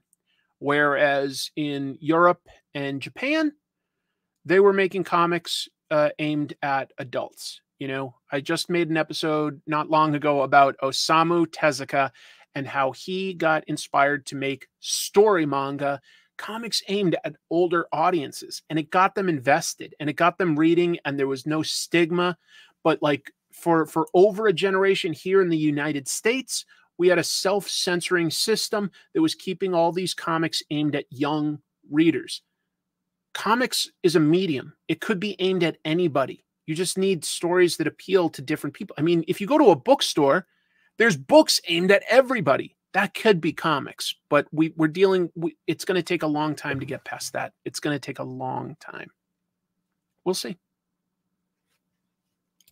yes, Cartoons Magazine. That sounds like a good one. Yeah.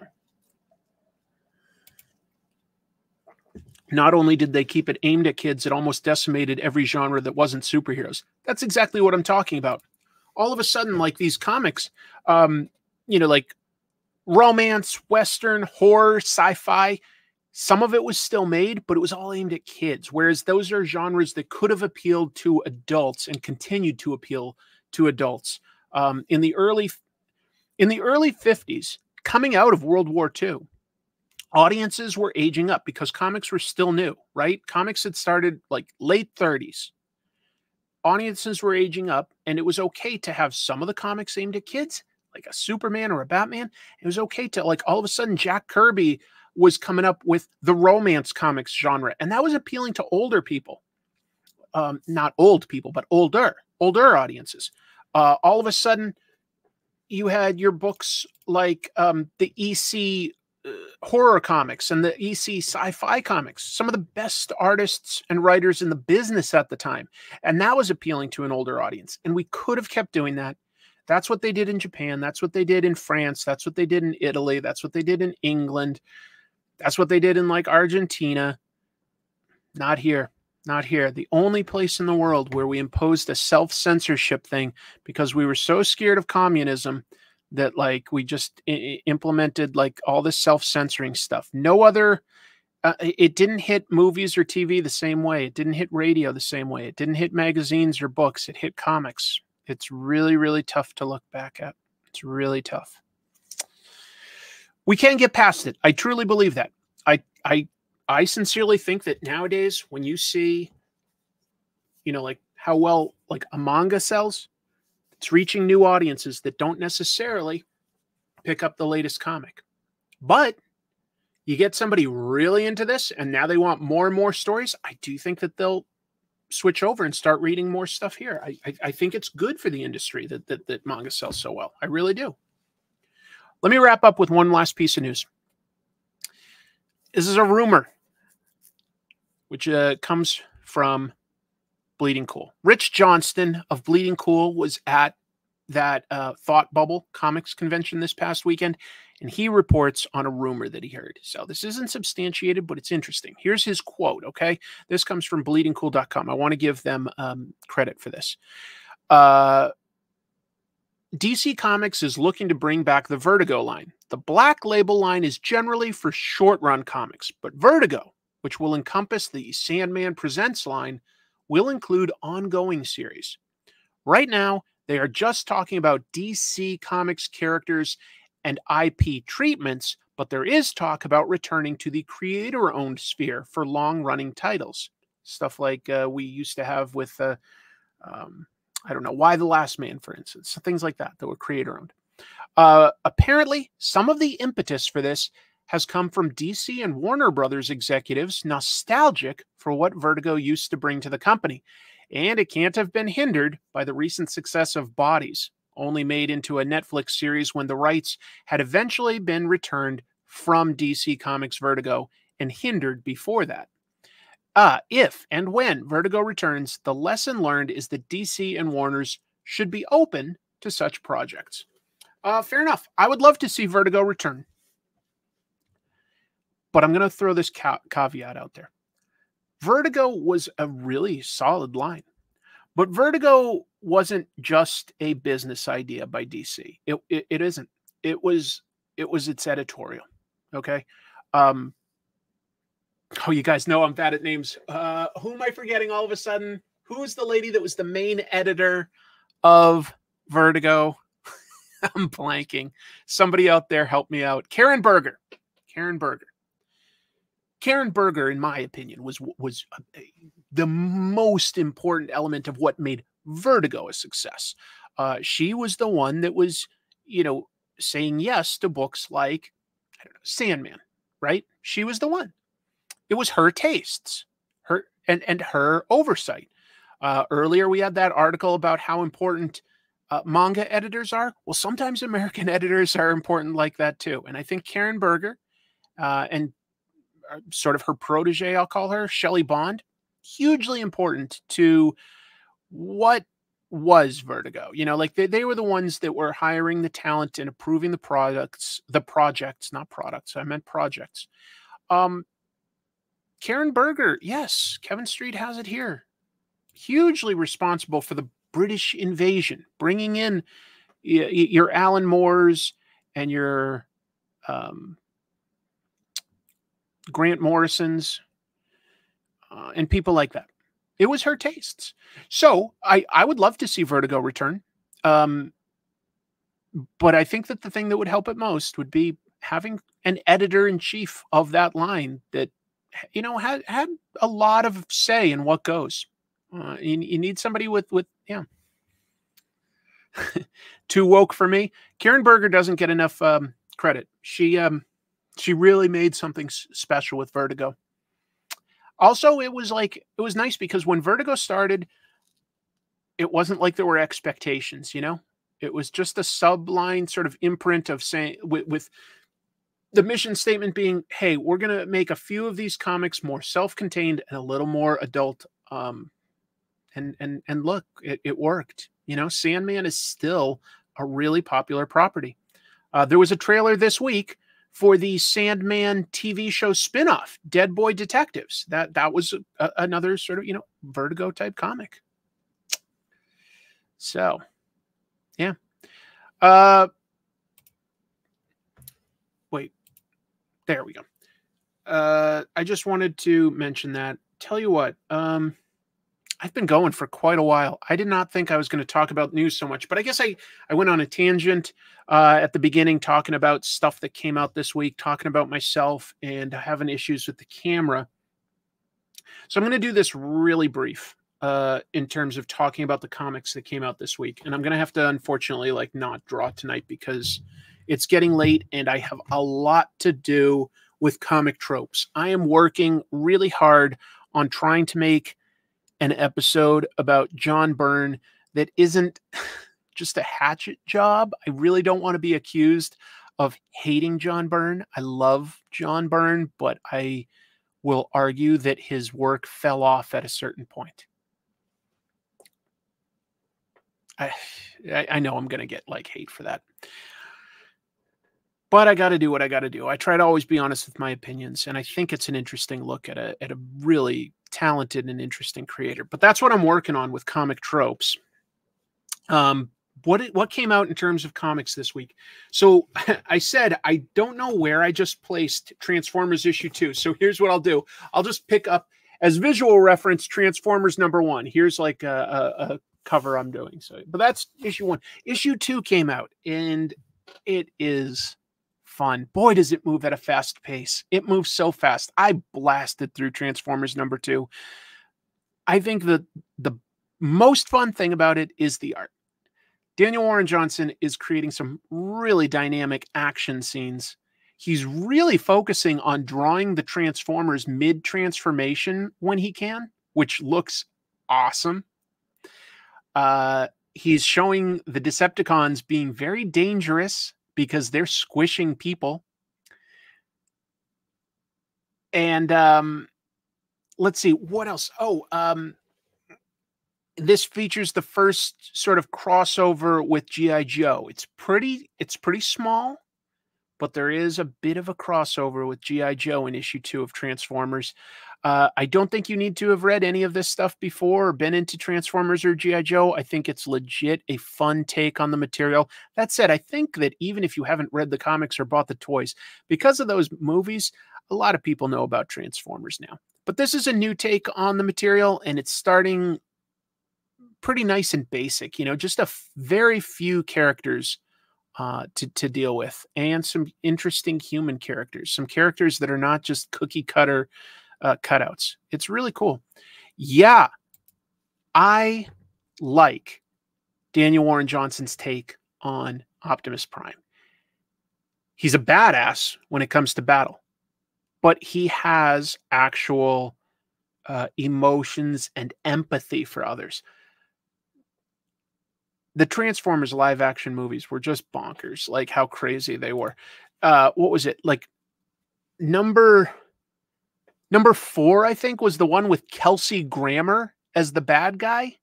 And like an actual human, by the way, not like a robot. And at one point, Optimus Prime just kills him, just blows him away with his gun. And that's pretty intense. You know, like you could have easily written like Optimus Prime shoots an electronic gizmo doodad that like you know uh tasers kelsey grammer and he's locked up by the police but no like optimus prime just blows him away. Uh it's crazy. It's just crazy. Uh but i do recommend it. Uh what else came out this week that was interesting? Uh i've been talking up damn them all for a while. If you want to see people work with magic in a way where you're not just casting spells. You you sort of have to understand that uh, it costs something. There's sacrifice involved, and you have to look for loopholes very carefully, or demons will screw you over. Damn them all is badass. It's so good. Oh, the villains are detestable. I think that uh, Charlie Adlard, the artist, is. I think he's really into this. He, he's inspired because um, his Walking Dead stuff was good, but this stuff is great. This is next level. I'm trying to think. Uh, I'm trying to find like a, a, good dynamic shot to just sort of show off to you. But um, for instance, he takes time with like establishing shots, like the House of Commons in England. That can't have been easy to to set up. I don't know. There's some really creepy stuff with devils and demons and stuff. Here's Asmodee, which is like bathed in shadow, right? Bathed in shadow, just hanging over the House of Commons, Parliament. This is fun. Uh, I tried the new Punisher. It's okay. It's not great, to be honest. Um, you've kind of got a new guy who also happened to have his wife and kids killed which sets him on a path to being Punisher. But the difference is this guy was a, a former Shield agent uh, doing like wet works operations, so he has access to all sorts of Shield sci-fi weapons.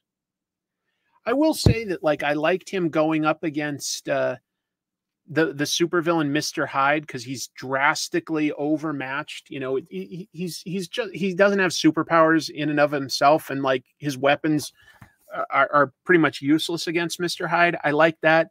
Uh, I didn't feel that the dialogue really gave me anything that interesting. I didn't feel like he as a character was more interesting than Frank Castle. Um, We'll see. We'll see. I, I didn't love it. But there were two things that I did love that came out this week. Oh, wait, this one didn't come out this week, but I, I read it this week.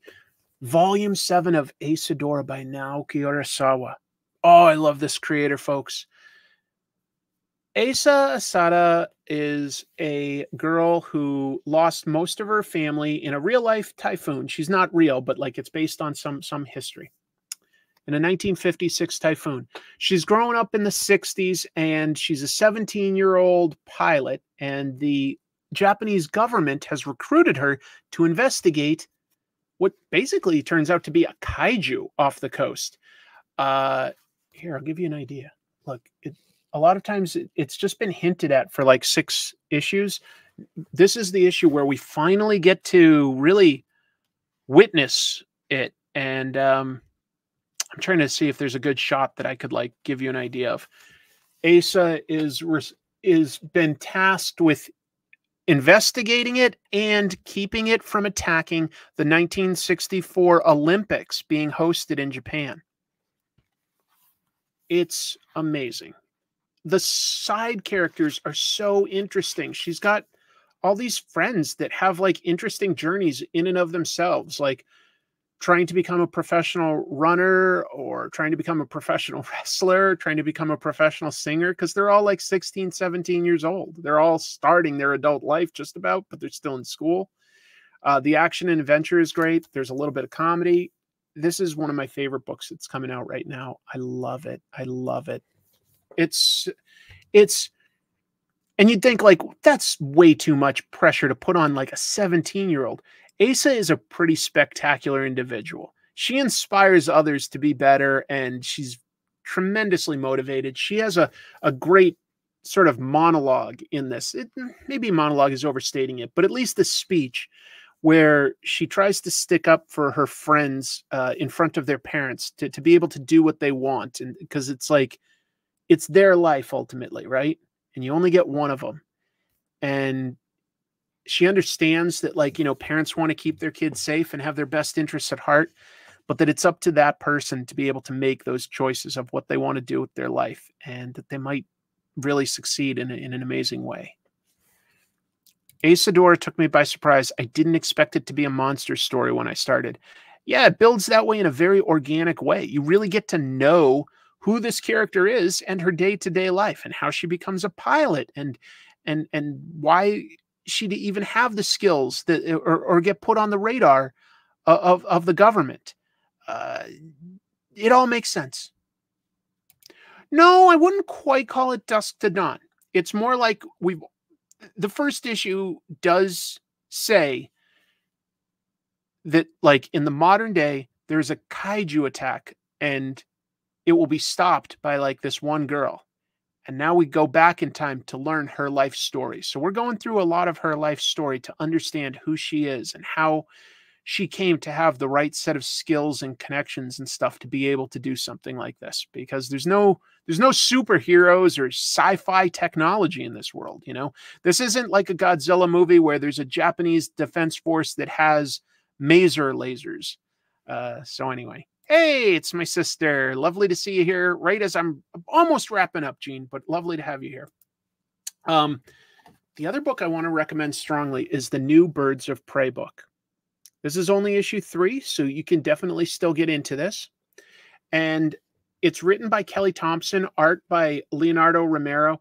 It is fantastic. The team is Black Canary leading uh, Big Barda, Batgirl, the Cassandra Cain Batgirl, Zealot, and Harley Quinn.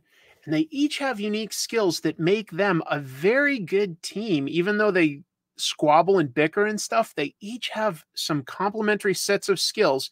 And the goal is Black Canary has a younger sister who's being held prisoner on Themyscira.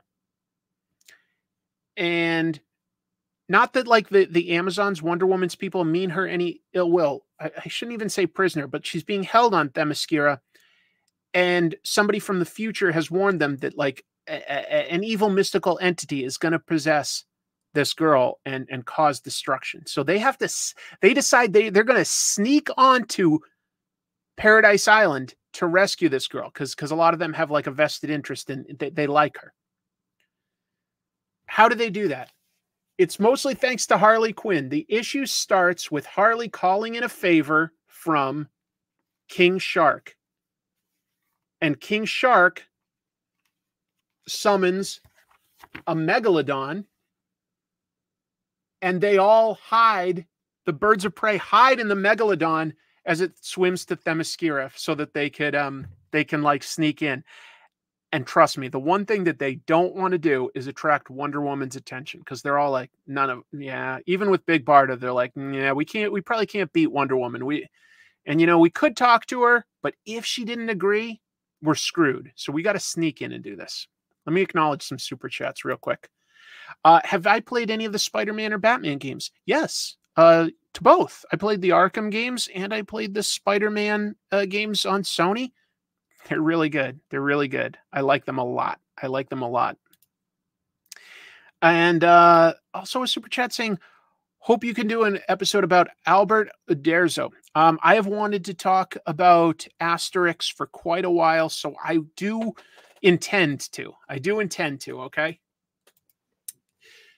Big Barda says, like, she's like, maybe I could. She's like, at, at, best, it's a push. She's like, against Wonder Woman, she goes, it depends on what we're each fighting for. She's like, uh, she's being honest. Like, Big Barda is really, really tough. She's like, but against Wonder Woman, she's like, it's a push. Could go either way. Uh, thank you for the super chat, Hulkzilla. Thanks for the fun stream. Best wishes to you and the family. Anyway, how fun is that though? That like Harley Quinn is uh, having them sneak in inside the mouth of a shark, thanks to like calling in a favor from King Shark. I love it. I love it. So those are some of the things that I read this week. Also, um, this is too far along for me to like really break down. But volume ten of Fist of the North Star, which has come out in English before, but is now coming out in these really nice hardcovers by Viz. Uh, volume ten has now come out, and that wraps up basically the first entire story for um, for for this whole story. Um, Kenshiro uh, basically gets to sort of like ride off into the sunset in this one. The the creators did come back uh, with a story set several years later that sort of was a second arc. But yeah, volume now you could get volumes one through ten and basically get a complete story. Fist of the North Star is over the top violent, but I think it was tremendously influential to manga that came after it. Um, I mean, it's inspired by manga that came before it too. Like I think that Go Nagai's stuff like Devilman probably inspired Fist of the North Star and some other things. Um, Violence Jack, well, that was kind of the same guys, but still. Um, but this, I think, continued to inspire. Uh, I, I see a lot of this sort of over the top violence and the way that they approach action uh, being reflected in books like Berserk. I do. So I do recommend it.